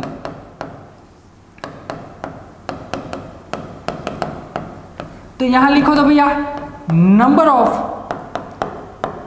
orbital in any subshell कोई भी सब सेल होगा ना, उसमें कितनी ऑर्बिटल है ना, उसके लिए एक फॉर्मूला है। कौन सा? Two L plus one. Two L plus one जितनी ऑर्बिटल सब में होगी। आइए चेक करते हैं। आइए ना, चेक करते हैं इधर। यहाँ पे मैं लिख देता हूँ टू एल प्लस वन। हमें यही चाहिए ना, ऑर्बिटल ही चाहिए हमें। तो मैं यहाँ लिख देता हूँ टू एल प्लस वन। कितनी ऑर्बिटल होगी भैया? एक सब सेल में, इसे क्या कहते हैं? ये आपको मालूम होना चाहिए। इसे हम कहते हैं सब सेल ये एम क्या बताता है? ऑर्बिटल के बारे में बताता है। हमें फाइंड करना है कि ज़ीरो सब सेल ज़ीरो जिसकी एल की वैल्यू ज़ीरो है, जिसका सब सेल एस है, उसमें कितनी ऑर्बिटल है? तो सिंपल फॉर्मूला यहाँ पे एल की कीमत रख दीजिए। एल एल क्या है? ज़ीरो प्लस वन यानी कि फाइनल आंसर आ गया वन एस में एक ऑर्बिटल है। पी की बात करें तो पी एल की वैल्यू कितनी है भैया यहाँ? एल की वैल्यू है कितनी यहाँ? मुझे बताओ ना। वन ना? एल की वैल्यू यहाँ से वन आई प्लस वन दोनों को मिला दो, तीन आएगी, तीन आई इधर रही, तीन। यही आएगी, ये फॉर्मूले से चेक करोगे ना, यही आएगी। टू एल प्लस वन मैं डी के बारे में बात कर रहा हूँ तो two into two plus one check कर लेना फोर इंटू फाइव फाइव ही आएगी, इधर इधर देखना फाइव ही। डी ऑर्बिटल में पाँच डी जो हमारे डी सेल है डी सब सेल उसमें पाँच ऑर्बिटल होगी, इधर रही पाँच। और आप अच्छे से जानते हैं, यहाँ पे रखोगे ना, कितनी आएगी? सेवन ही आएगी।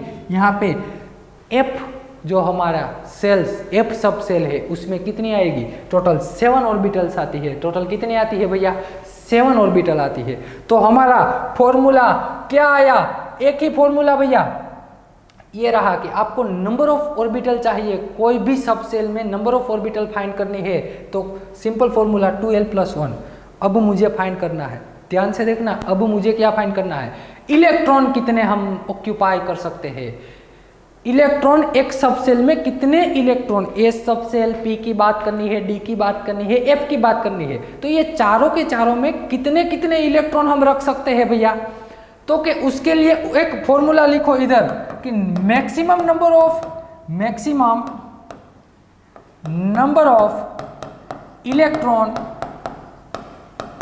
occupied in subshell any subshell subshell कोई भी सबसेल होगा ना, कोई भी सबसेल है उसमें आप कितने इलेक्ट्रॉन रख सकते हैं? उसके लिए पहले तो एक बात बताओ ना, एक बात बताओ। ये जो हमारा, ये एक सब सेल है ना, ये एक ऑर्बिटल है, एक ऑर्बिटल में कितने इलेक्ट्रॉन रख सकते हैं? अरे कॉमन बात है बच्चा बच्चा जानता है ये। कितने इलेक्ट्रॉन रख सकते हैं भैया? तो कि दो इलेक्ट्रॉन रख सकते हैं ना इधर। इधर दो इलेक्ट्रॉन रख सकते हैं। तो एक ऑर्बिटल में हम दो इलेक्ट्रॉन रख सकते हैं। तो एक ऑर्बिटल में हम दो इलेक्ट्रॉन रख सकते हैं। तो यहाँ जितनी ऑर्बिटल आएगी, जितनी ऑर्बिटल आएगी, उसको मैं दो से मल्टीप्लाई कर दूँ तो यहाँ क्या आएगा? Two into two L plus one इतनी ऑर्बिटल आएगी ना तो final answer four L plus two हो जाएगा। देख लेना, इतने ही इलेक्ट्रॉन आप रख सकते हैं। कोई भी सब सेल होगा ना चेक करता हूँ। चलो ना चेक ही कर लेते हैं। पहले मैं बात करता हूँ एस एस सबसेल के बारे में, जिसकी एल की वैल्यू ज़ीरो है पी की वैल्यू वन है डी की वैल्यू कितनी है? टू है, और एफ़ एफ़ के बारे में मुझे बात करना है तो तीन है। तो यहाँ पे मुझे इलेक्ट्रॉन चाहिए maximum electron maximum electron S वाली में मैं कितने इलेक्ट्रॉन रख सकता हूँ? आप जानते हैं, दो आएँगे, कितने आएँगे? दो। लेकिन फॉर्मूले से प्रूव करते हैं। यहाँ फोर एल की वैल्यू ज़ीरो प्लस क्या आएगा? टू। तो फाइनल आंसर आ गया दो। दो इलेक्ट्रॉन आप रख सकते हैं एस वाले सेल में। फिर एल की वैल्यू क्या है? वन तो four one plus two total answer आएगा सिक्स यानी कि जो पी सब सेल है आपका पी सब सेल उसमें आप छह इलेक्ट्रॉन रख सकते हैं। ये तो आप जानते हैं ना। तो क्या भैया? आप तो बहुत होशियार है। यहाँ पे आप टेन इलेक्ट्रॉन रख सकते हैं, यहाँ पे फोर्टीन इलेक्ट्रॉन रख सकते हैं। तो हमारा फॉर्मूला एक ही याद रखना है four L plus two total number of electron कोई भी सब सेल में कितने रख सकते हैं? आपने यहाँ से निकाल लिया। चलो, ये निकाल लिया, ये सिंपल बात थी। देख लेना, ये सिंपल बात थी। फिर से यहीं से आपको लिखना है।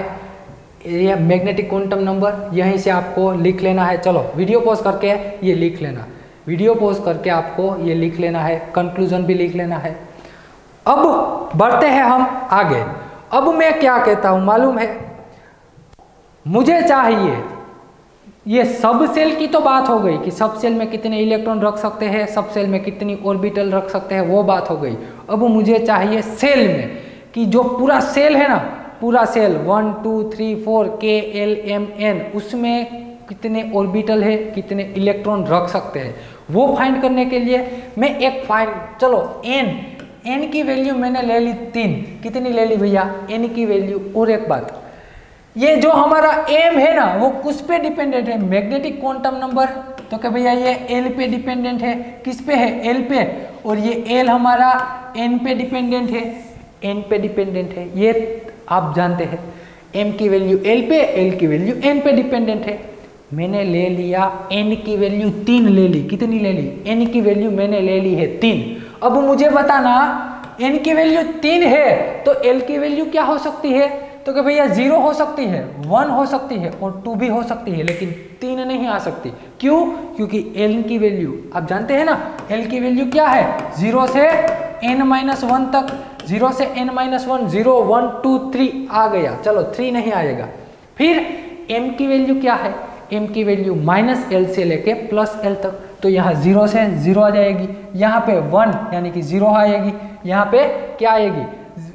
वन आया तो यहाँ पे माइनस वन ज़ीरो और प्लस वन आएगी। यहाँ पे minus two minus one zero plus one plus two इतना ये बेसिक हमने आगे देख लिया। अब मुझे ध्यान से देखना, कहाँ से कहाँ ले जाता हूँ, कहाँ से कहाँ। यहाँ पे नंबर ऑफ़ ये एम हमें बताता क्या है भैया? तो कि ऑर्बिटल बताता है ना। एम हमें ऑर्बिटल बताता है। यहाँ कितनी ऑर्बिटल आई? एक। यहाँ पे टोटल ऑर्बिटल तीन आई। यहाँ पे टोटल ऑर्बिटल फाइव आई। सबको मिला दो। टोटल ऑर्बिटल कितनी आ गई?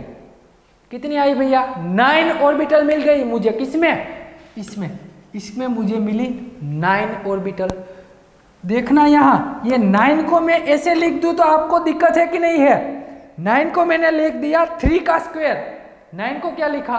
थ्री का स्क्वायर। थ्री का स्क्वायर है यानी कि एन एन क्या? एन की वैल्यू थ्री है इधर। तो एन का स्क्वायर आ गया। एन का क्या आ गया भैया? स्क्वायर आ गया। एन का स्क्वायर आया ना? देखो तो एन की वैल्यू जितनी थी, वही आया। तो हम यहाँ से लिख सकते हैं, क्या लिखेंगे? हम यहाँ से एक स्टेटमेंट मुझे कंक्लूजन मिल गया। यहाँ से मुझे कंक्लूजन मिल गया। लिखो भैया। कंक्लूजन यहाँ से लिखो कि number of orbital number of orbital in in any shell shell के बारे में है सब सेल के बारे में नहीं सेल के बारे में क्या आएगा? एन स्क्वेयर आएगा। उसकी वैल्यू क्या होगी भैया? एन स्क्वेयर हो जाएगी। एन स्क्वेयर मान लीजिए आपने फोर ले लिया क्वांटम नंबर फोर ले लिया प्रिंसिपल क्वांटम नंबर की वैल्यू चार है तो उसमें कितनी होगी? सोलह ऑर्बिटल होगी। टोटल कितनी ऑर्बिटल होगी भैया? सोलह। चेक कर लेना आप। घर पे बैठे बैठे। दूसरा मुझे फाइंड करना है, इसमें हम कितने इलेक्ट्रॉन रख सकते हैं? टोटल इलेक्ट्रॉन कितने रख सकते हैं? तो कुछ करने वाली ही बात नहीं। तो यहाँ पे लिख सकते हैं maximum number of electron maximum number of electron occupied in each cell occupied in any cell any cell लिखो ना any cell ऐसा ही लिखो any cell. तो क्या आएगा टू एन आप जानते हैं एक ऑर्बिटल में दो इलेक्ट्रॉन रख सकते हैं तो नंबर ऑफ़ ऑर्बिटल इतनी है तो इसको दो से मल्टीप्लाई कर दो तो ऐसा आएगा इसको हमने दो से मल्टीप्लाई कर दिया तो ये बात हो गई किसके बारे में भैया? मैग्नेटिक क्वांटम नंबर के बारे में। मैग्नेटिक क्वांटम नंबर हमें क्या बताता है? तो वो डायरेक्शन बताता है, वो हमें ओरिएंटेशन बताता है इलेक्ट्रॉन की कि वो कौन सी डायरेक्शन में है। तो ये सिंपल बात थी। बात करनी है फोर्थ नंबर के बारे में। फोर्थ नंबर, लगा दीजिए टाइटल। लास्ट वन बचा है। Last one, spin quantum number. कौन सा वाला भैया? Spin quantum number. Spin quantum number को हम एस से रिप्रेजेंट करते हैं। किस से रिप्रेजेंट करते हैं? एस से। ये सिंपल बात है। इसमें तो कुछ बड़ी बात है नहीं। एक बात मैं आपको कह दूँ, या वो मैंने आगे आपको समझाया ही था कि यदि इलेक्ट्रॉन अपनी अक्सिस पे, खुद की अक्सिस पे भी रोटेशन कर रहा है, या तो वो क्लॉकवाइज रोटेशन करेगा, या एंटी क्लॉकवाइज रोटेशन करेगा। दो तरह के हैं ना। क्लॉकवाइज या तो एंटी क्लॉकवाइज आपने किसी को भी कह दिया। चलो क्लॉकवाइज को आपने पर्टिकुलर कह दिया। जो क्लॉकवाइज रोटेशन कर रहा है ना, उसको प्लस वन बाई टू कह दिया। तो जो इलेक्ट्रॉन एंटी रोटेशन कर रहा है, जो इलेक्ट्रॉन एंटी वो minus one by two in short सौ बात की एक बात। सौ बात की एक बात। स्पिन क्वांटम नंबर यानी कि एस की वैल्यू क्या हो सकती है? एस की वैल्यू हो क्या सकती है? एस की वैल्यू या तो प्लस वन बाई टू या तो माइनस वन बाई टू हो सकती है माइनस वन बाई टू हो सकती है इसकी वैल्यू तो ये सिंपल बात थी भैया, देख लियो। ये सिंपल बात थी, लिख लेना। वीडियो पोस्ट करके लिख लेना। चलो, अब हमें बात करनी है। किसके बारे में? नोड के बारे में बात करते हैं। चलो ऑर्बिटल के बारे में तो पता चल गया ना? ऑर्बिटल किसे कहते हैं?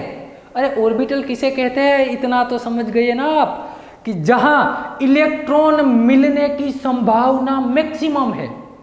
जहाँ इलेक्ट्रॉन मिलने की संभावना मैक्सिमम है, उसे हम क्या कहते हैं? ऑर्बिटल कहते हैं।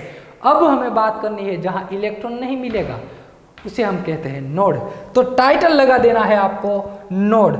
लगा दीजिए टाइटल, नोड। क्या लगाना है भैया?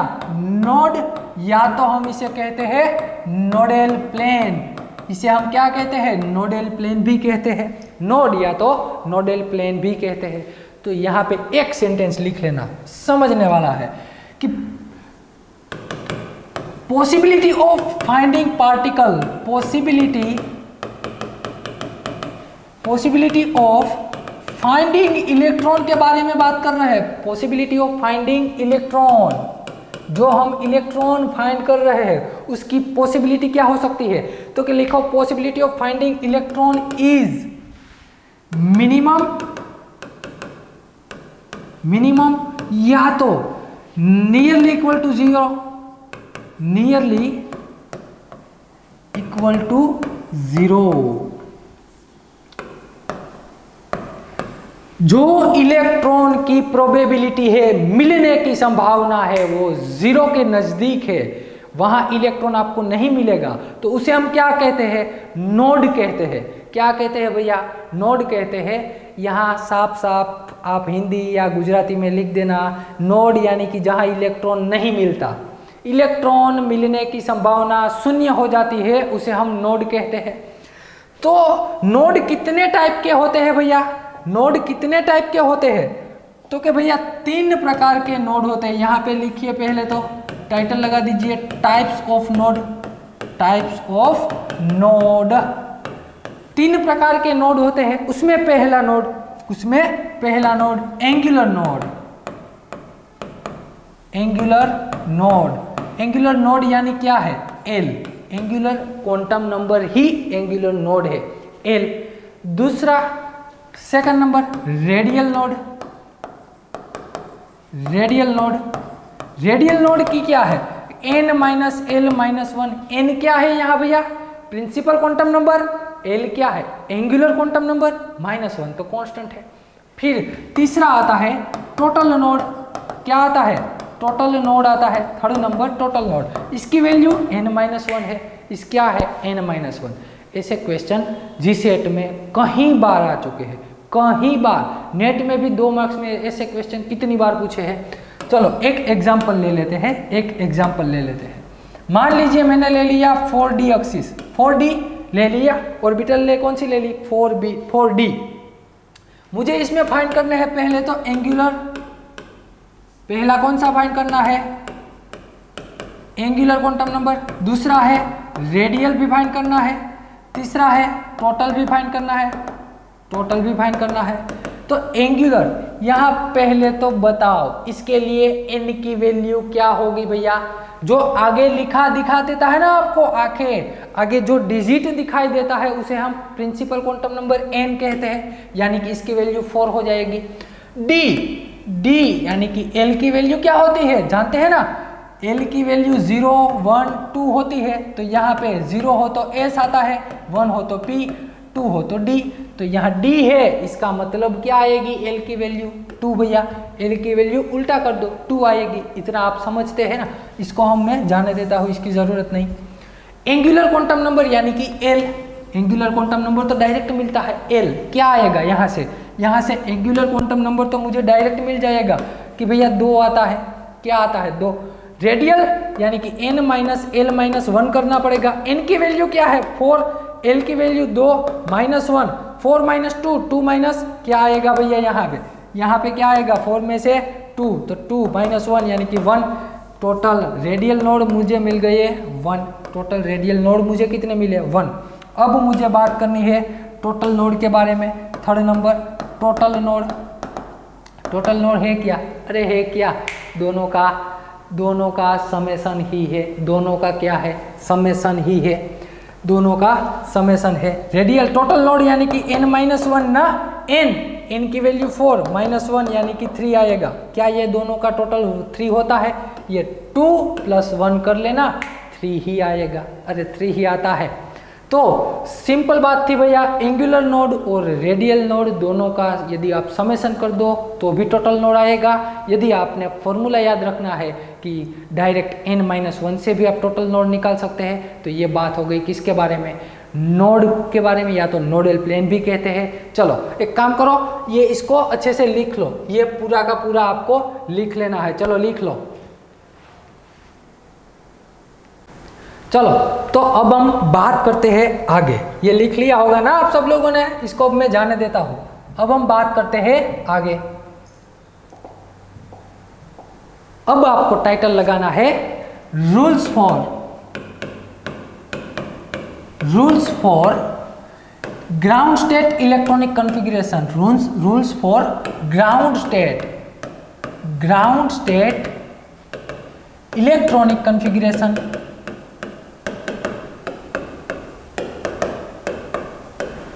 rules for ground state electronic configuration ground state electronic configuration में आप इलेक्ट्रॉन कैसे फिलअप करना है? ऐसे ये सिंपल रूल है भैया। ग्राउंड स्टेट पहले तो पहला क्वेश्चन ग्राउंड स्टेट कैसे, किसे? ग्राउंड स्टेट किसे कहते हैं? तो क्या भैया ग्राउंड स्टेट ग्राउंड स्टेट किसे कहते हैं? जिसकी एनर्जी कम होगी, सीधी सी बात, जिसकी एनर्जी कम होगी ऑर्बिटल में जो सभी की एनर्जीज आएगी, उसमें जिसकी एनर्जी कम होगी ना, उसको हम कहेंगे ground state minimum energy level minimum energy level जिसकी एनर्जी लेवल कम होगा, उसे हम ग्राउंड स्टेट कहेंगे।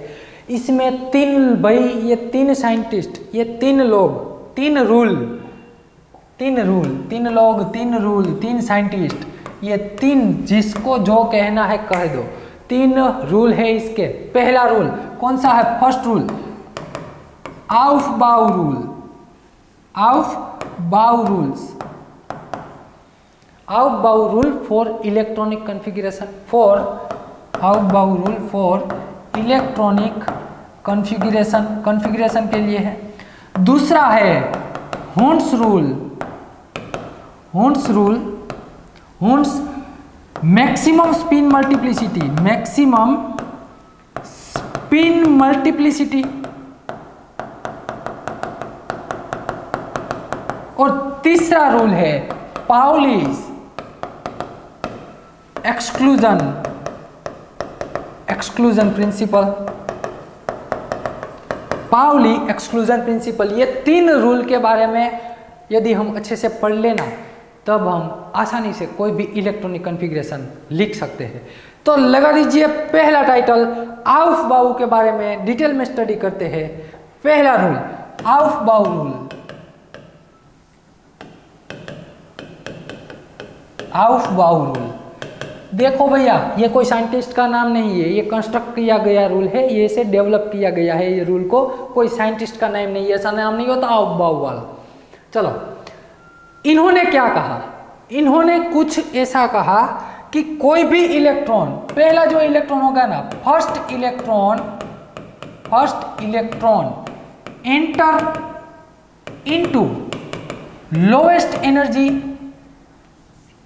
lowest energy level जिसकी जिसकी भी एनर्जी कम होगी वो कॉन्फ़िगरेशन फ़र्स्ट एनर्जी जिसकी भी एनर्जी कम होगी, उसमें पहला इलेक्ट्रॉन हमारा जाएगा। ये रूल हमेशा फॉलो होता है, हर टाइम ये रूल फॉलो होता है। कि देखते हैं, इधर सिंपल है भैया। तो कोई भी एनर्जी का लेवल है तो वो एनर्जी लेवल कैसे फाइंड करेंगे? कोई भी ऑर्बिटल है, उसका एनर्जी लेवल कैसे फाइंड करेंगे? तो उसके लिए भैया सिंपल रूल है, पहला रूल पहला रूल एनर्जी लेवल के लिए।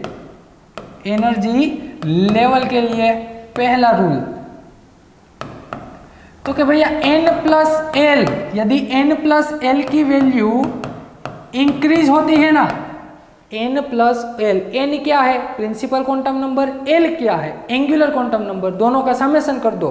यदि उसकी वैल्यू इंक्रीज होती है तो साथ ही साथ हमारी एनर्जी भी एनर्जी भी इंक्रीज हो जाएगी। सिंपल बात है। यदि n प्लस एन की वैल्यू इंक्रीज होती है तो हमारी एनर्जी भी, हमारे एनर्जी इंक्रीज हो जाएगी। दूसरी बात, मान लीजिए if n plus L value कभी कभार ऐसा होगा, n plus N value are same ये सेम हो जाएगी। ये क्या हो जाएगी भैया? ये सेम हो जाएगी, n प्लस एल की वैल्यू सेम हो जाएगी। तब क्या होगा? तब आपको देखना है जिसका प्रिंसिपल क्वांटम नंबर ज़्यादा होगा, n की वैल्यू जिसकी इंक्रीज हो जाएगी, उसकी एनर्जी भी इंक्रीज हो जाएगी, उसकी एनर्जी क्या हो जाएगी? इंक्रीज हो जाएगी। आइए चेक करते हैं। आइए ना चेक करते हैं। मैं क्या कहता हूँ? इधर। मैं आपको लिख देता हूँ इधर क्या? कि वन एस ऑर्बिटल है टू एस ऑर्बिटल है थ्री एस है थ्री पी है इधर टू पी है थ्री एस है three P four S three D ऐसा लिखो ना। चलो यहाँ थ्री डी ही लिखो, बाद में फोर एस लिखते हैं। इतनी ऑर्बिटल हमें दी हुई है सभी अलग अलग मुझे सबकी एनर्जी निकालनी है तो क्या करना होगा? एन प्लस एल को एन और एल का समेसन करना होगा। इसके लिए एन की वैल्यू क्या है? मुझे बताता जाना इधर। अरे इधर बताते जा भैया। इसके लिए एन की वैल्यू वन प्लस एस की वैल्यू ज़ीरो एस यानी कि एल की वैल्यू ज़ीरो हो गई। एन की वैल्यू यहाँ पे टू है। एस टर्म यानी कि ज़ीरो हो जाएगी। टू पी की वैल्यू पी यानी कि एल की वैल्यू क्या हो जाएगी? वन अरे जानते हैं ना? एस पी डी और एफ़ तो यहाँ ज़ीरो वन टू थ्री ये किसकी वैल्यू है भैया? एल की वैल्यू है। चलो थ्री प्रिंसिपल क्वांटम नंबर की एन की वैल्यू तीन हो गई। ये एस है, इसका मतलब यहाँ आएगा एल की वैल्यू ज़ीरो एन की वैल्यू तीन पी यानी कि एल की वैल्यू हो जाएगी वन एन की वैल्यू तीन डी यानी कि उसकी वैल्यू हो जाएगी टू एस की वैल्यू फोर ज़ीरो सभी का समेशन कर दीजिए। यहाँ n प्लस एन की वैल्यू वन होगी यहाँ पे टू यहाँ पे थ्री यहाँ पे थ्री यहाँ पे फोर यहाँ पे फाइव यहाँ पे फोर तो अब मुझे बताओ भैया, मुझे आप एनर्जी ऑर्डर में लिख के दो। चलो वीडियो पोस्ट करके पहला काम करना है आपको, इसका एनर्जी ऑर्डर लिख के दो। इंक्रीजिंग ऑर्डर में मुझे इसका एनर्जी सबसे हाईएस्ट एनर्जी किसकी होगी? सबसे लोएस्ट एनर्जी किसकी होगी? वीडियो पोस्ट करके इतना काम कीजिए। चलो भैया, आप जानते हैं ना, वहाँ पहले क्या किया? एन प्लस एल की वैल्यू सबसे ज़्यादा जिसकी इंक्रीज होगी, वो इसकी एनर्जी इंक्रीज हो जाएगी। जिसकी एन प्लस एन की एल की वैल्यू डिक्रीज होती है, वो ग्राउंड स्टेट कहलाएगा। तो यहाँ एक सबसे कम वैल्यू तो ये ग्राउंड स्टेट हो गई। फिर किसकी आएगी भैया? टू वैल्यू तो टू तो एक ही की है टू एस की। फिर तीन, देखो ये तीन दो बार आ गई ये भी तीन है, ये भी तीन है। अब क्या हो गया? एन प्लस एल की वैल्यू दोनों की सेम है। ध्यान से देखना एन प्लस एल की वैल्यू दोनों की सेम आई ना? लेकिन दोनों में एन की वैल्यू सेम नहीं होगी। चेक कर लो इधर। चेक करो इधर। अरे, इसमें एन की वैल्यू दो है। इसमें एन की वैल्यू क्या है? तीन। तो जिसकी एन की वैल्यू इंक्रीज हो जाती है, उसका एनर्जी लेवल भी इंक्रीज हो जाता है। तो पहले कौन आएगा? पहले आएगा भैया 2p बाद में कौन आएगा? 3s आएगा। अब देखो, यहाँ पे भी चार है, यहाँ पे भी चार है। लेकिन यहाँ एन की वैल्यू ज़्यादा है तो इसकी एनर्जी क्या होगी? ज़्यादा होगी। तो यहाँ पे पहले कौन आएगा? 3p आएगा, फिर कौन आएगा? 4s यहाँ तो 5 है तो 3d इसके बाद आएगा। तो आउफ बाउ ने क्या बताया? ये पहले तो सभी ऑर्बिटल का इन्होंने आपको इलेक्ट्रॉनिक कॉन्फ़िगरेशन का ऑर्डर दिया कि सबसे ग्राउंड स्टेट वाली कौन सी है? तो कि भैया इसमें वन एस है। सबसे हाईएस्ट एनर्जी किसकी है? तो कि थ्री डी की है। अब मुझे ये सभी में इलेक्ट्रॉन ऐड करवाने हैं, सभी में इलेक्ट्रॉन ऐड करवाने हैं। तो पहला इलेक्ट्रॉन किसमें ऐड होगा? जानते ही है। पहला इलेक्ट्रॉन इसमें ऐड होगा वन एस पे जब ये वन एस फुल फिल हो जाएगी कंप्लीट भर जाएगी, बाद में इलेक्ट्रॉन किधर आएगा? ये वन एस कंप्लीट हो जाएगी ना? बाद में इलेक्ट्रॉन ये टू एस में चला आएगा। टू एस बढ़ जाएगी, फिर आएगा टू पी में। फिर किसमें आएगा? थ्री एस में, फिर थ्री पी में, फिर फोर एस में, फिर आएगा थ्री डी में।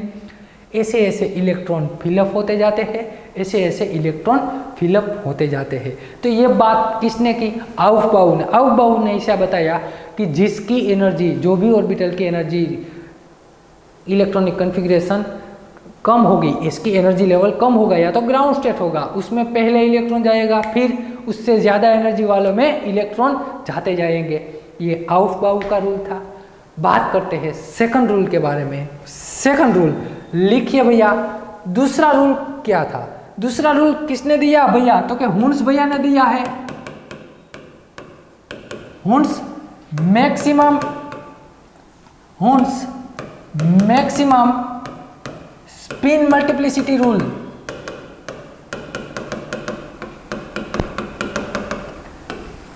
maximum spin multiplicity तो आपके लिए एक वर्ड नया आया। क्या? स्पिन मल्टीप्लिसिटी ये स्पिन मल्टीप्लिसिटी कहते किसे हैं? स्पिन मल्टीप्लिसिटी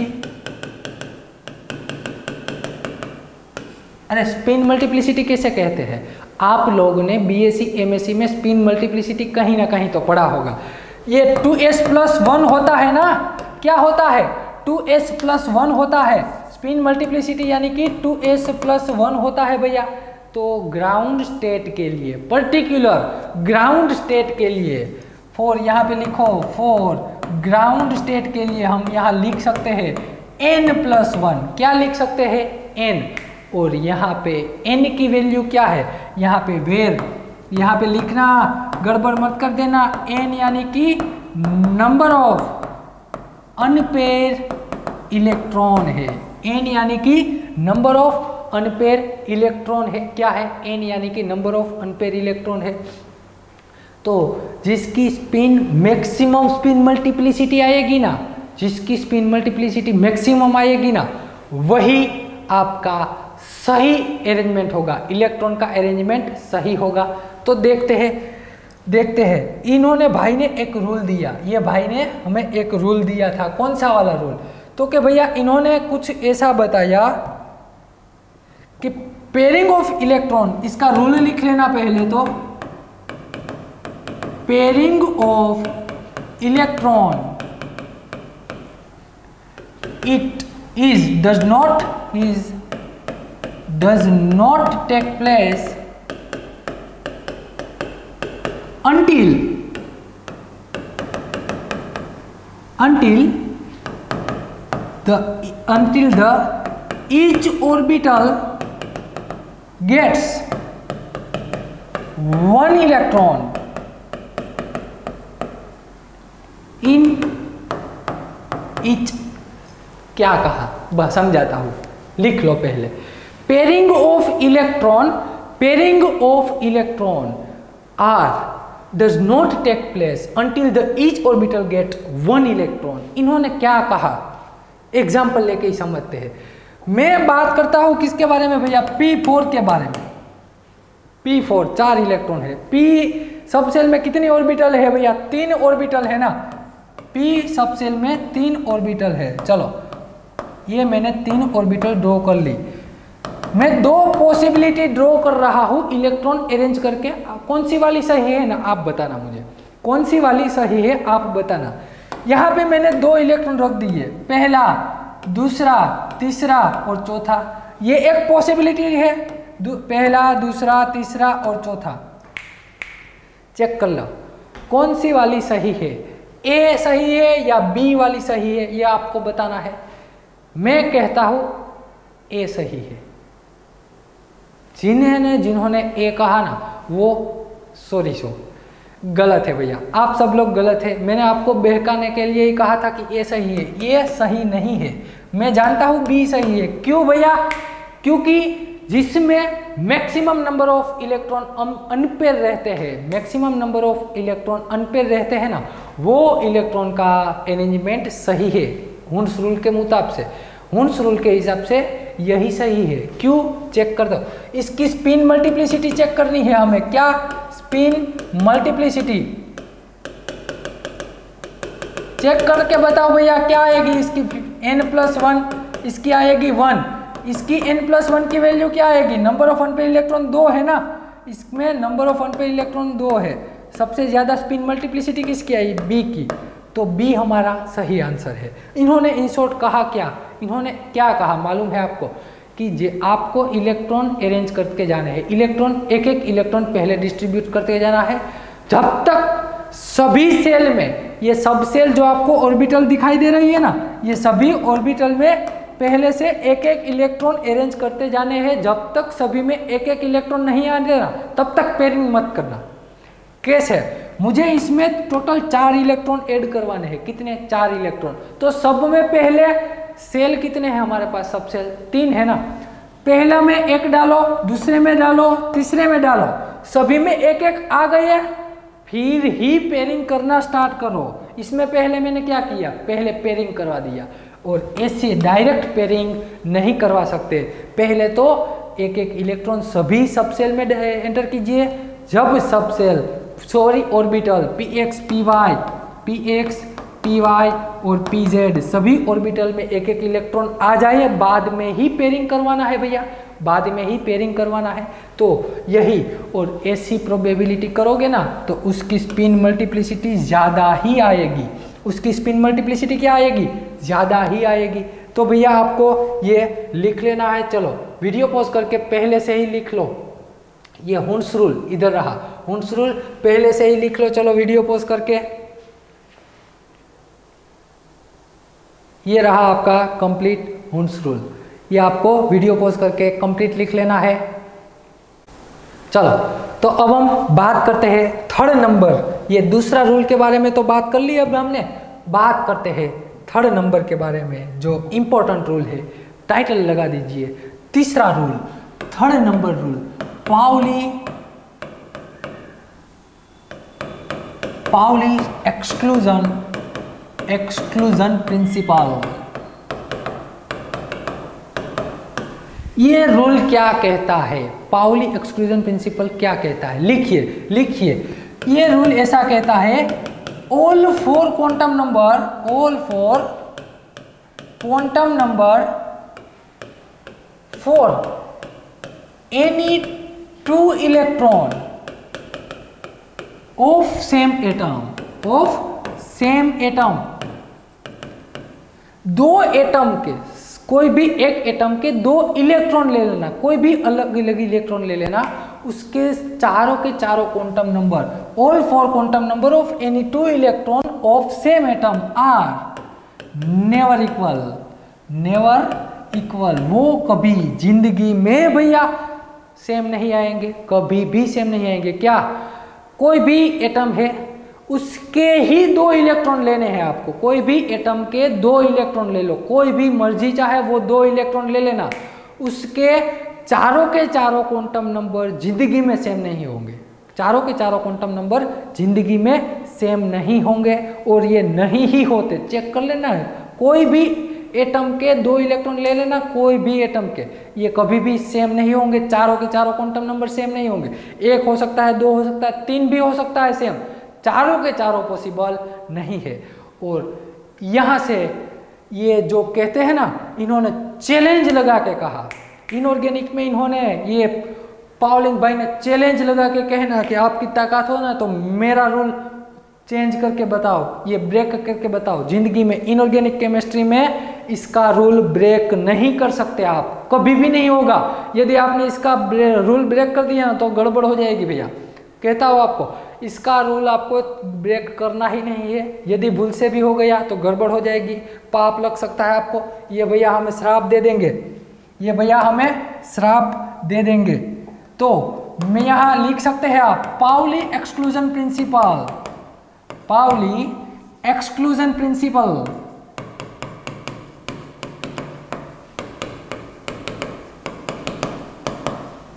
never violent इसका उल्लंघन ज़िंदगी में मत करना दोस्तों। इसका उल्लंघन आप ज़िंदगी में कभी भी मत करना। ये पावलिंग एक्सक्लूजन प्रिंसिपल का। इन्होंने जो बात कही है वो हंड्रेड परसेंट सही ही सही है। इन्होंने क्या कहा? आइए देखते हैं एग्ज़ाम्पल के साथ देखते हैं।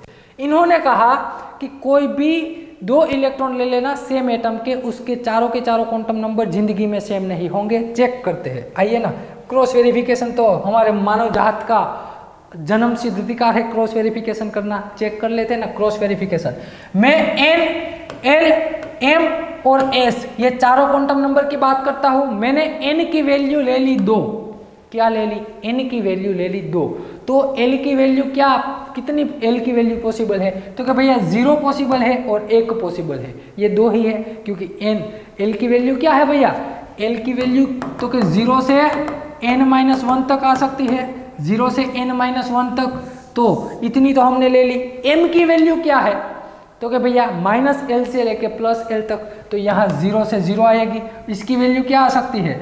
माइनस वन ज़ीरो और प्लस वन आ सकती है। माइनस वन ज़ीरो और प्लस वन इसकी वैल्यू या तो प्लस वन बाई टू होगा, या तो या तो प्लस वन बाई टू होगा, या तो माइनस वन बाई टू होगा। ये भी यही पॉसिबल है ना?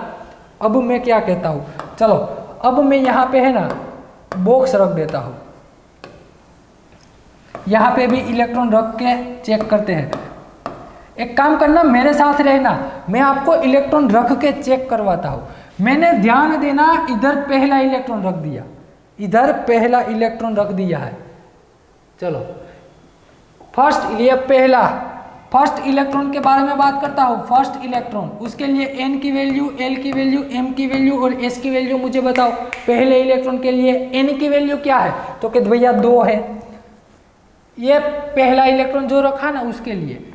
एल की वैल्यू तो कि भैया ज़ीरो है एम की वैल्यू ज़ीरो है एस की वैल्यू और हम बाय डिफ़ॉल्ट ऐसा कंसीडर करते हैं कि जो अप स्पिन है, उसके लिए प्लस वन बाई टू लेते हैं, जो डाउन स्पिन इलेक्ट्रॉन है, उसके लिए माइनस वन बाई टू लेते हैं तो यहाँ एस की वैल्यू क्या आ जाएगी प्लस वन बाई टू आ जाएगी। एस की वैल्यू क्या आ गई?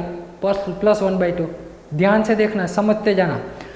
और यही से, यही ऑर्बिटल में मैं दूसरा इलेक्ट्रॉन रख देता हूँ। चलो, मैंने यहाँ ग्रीन कलर का इलेक्ट्रॉन रख ब्लू कलर का रखते हैं ना। चलो ब्लू कलर का इलेक्ट्रॉन रख दिया भैया मैंने। दिखाई दे रहा है ना आपको ब्लू कलर का इलेक्ट्रॉन ये दूसरा इलेक्ट्रॉन जो रखा ना मैंने, उसके लिए मुझे चारों क्वांटम नंबर लिखा। ये second electron second electron second electron के बारे में मुझे लिखाना भैया। सेकंड के लिए ये, उसके लिए एन की वैल्यू तो दो ही आएगी भैया। एल की वैल्यू तो ज़ीरो ही आएगी। एम की वैल्यू भी ज़ीरो आएगी। लेकिन देखो, अरे ये तो तीनों के तीनों सेम आ गए क्या चौथा सेम आएगा? नहीं आएगा। क्यों? अब इसके लिए माइनस वन बाई टू हो जाएगा। क्या हो जाएगा भैया? माइनस वन बाई टू हो गया इसकी वैल्यू देखो, पहला इलेक्ट्रॉन जो रखा और दूसरा इलेक्ट्रॉन इसमें चारों के चारों कभी भी सेम नहीं आएँगे। चारों के चारों ज़िंदगी में सेम नहीं आएँगे। ठीक वैसे ही, इधर ध्यान दो ना। इधर ध्यान दो ना मैंने इसमें पहला इलेक्ट्रॉन रख दिया, ध्यान देना। ये ऑर्बिटल की माइनस वन बाई टू ये ज़ीरो है और ये प्लस वन है। एम की वैल्यू इतनी ही है ना? इतना है। चलो, इसके लिए मुझे एन की वैल्यू लिखाओ। एन एल एम और एस ये चारों वैल्यू आपको लिखानी है। एन की वैल्यू इसके लिए तो भाई दो ही आएगी। एल की वैल्यू तो क्या बोले? क्या आएगी? एन की वैल्यू माइनस वन आएगी, क्योंकि माइनस वन ऑर्बिटल में है तो माइनस वन एम की वैल्यू क्या आएगी? एम की वैल्यू सॉरी यहाँ पे तो प्लस वन ही आएगी ना. यहाँ पे माइनस वन आएगी. एस की value plus one by two हो जाएगा प्लस वन बाई टू मान लीजिए यहाँ पे दूसरा इलेक्ट्रॉन रख दिया तो यहाँ तो दो, यहाँ पे वन यहाँ पे ज़ीरो यहाँ पे वन बाई टू इसे चेक करते जाना. सभी की वैल्यू कौन सी आएगी? अलग अलग ही आएगी. ज़िंदगी में कोई भी सेम एटम के दो इलेक्ट्रॉन कोई भी सेम एटम के दो इलेक्ट्रॉन जो है, उसकी चारों के चारों क्वांटम नंबर सेम नहीं आते। चलो, रखते हैं अब यहाँ तक। मिलते हैं अगले लेक्चर में। तब तक ये आपकी बुक में लिख लेना, मेहनत करते रहना। मिलते हैं नेक्स्ट लेक्चर में। कुछ नया सीखेंगे इनऑर्गेनिक केमिस्ट्री में। Thank you very much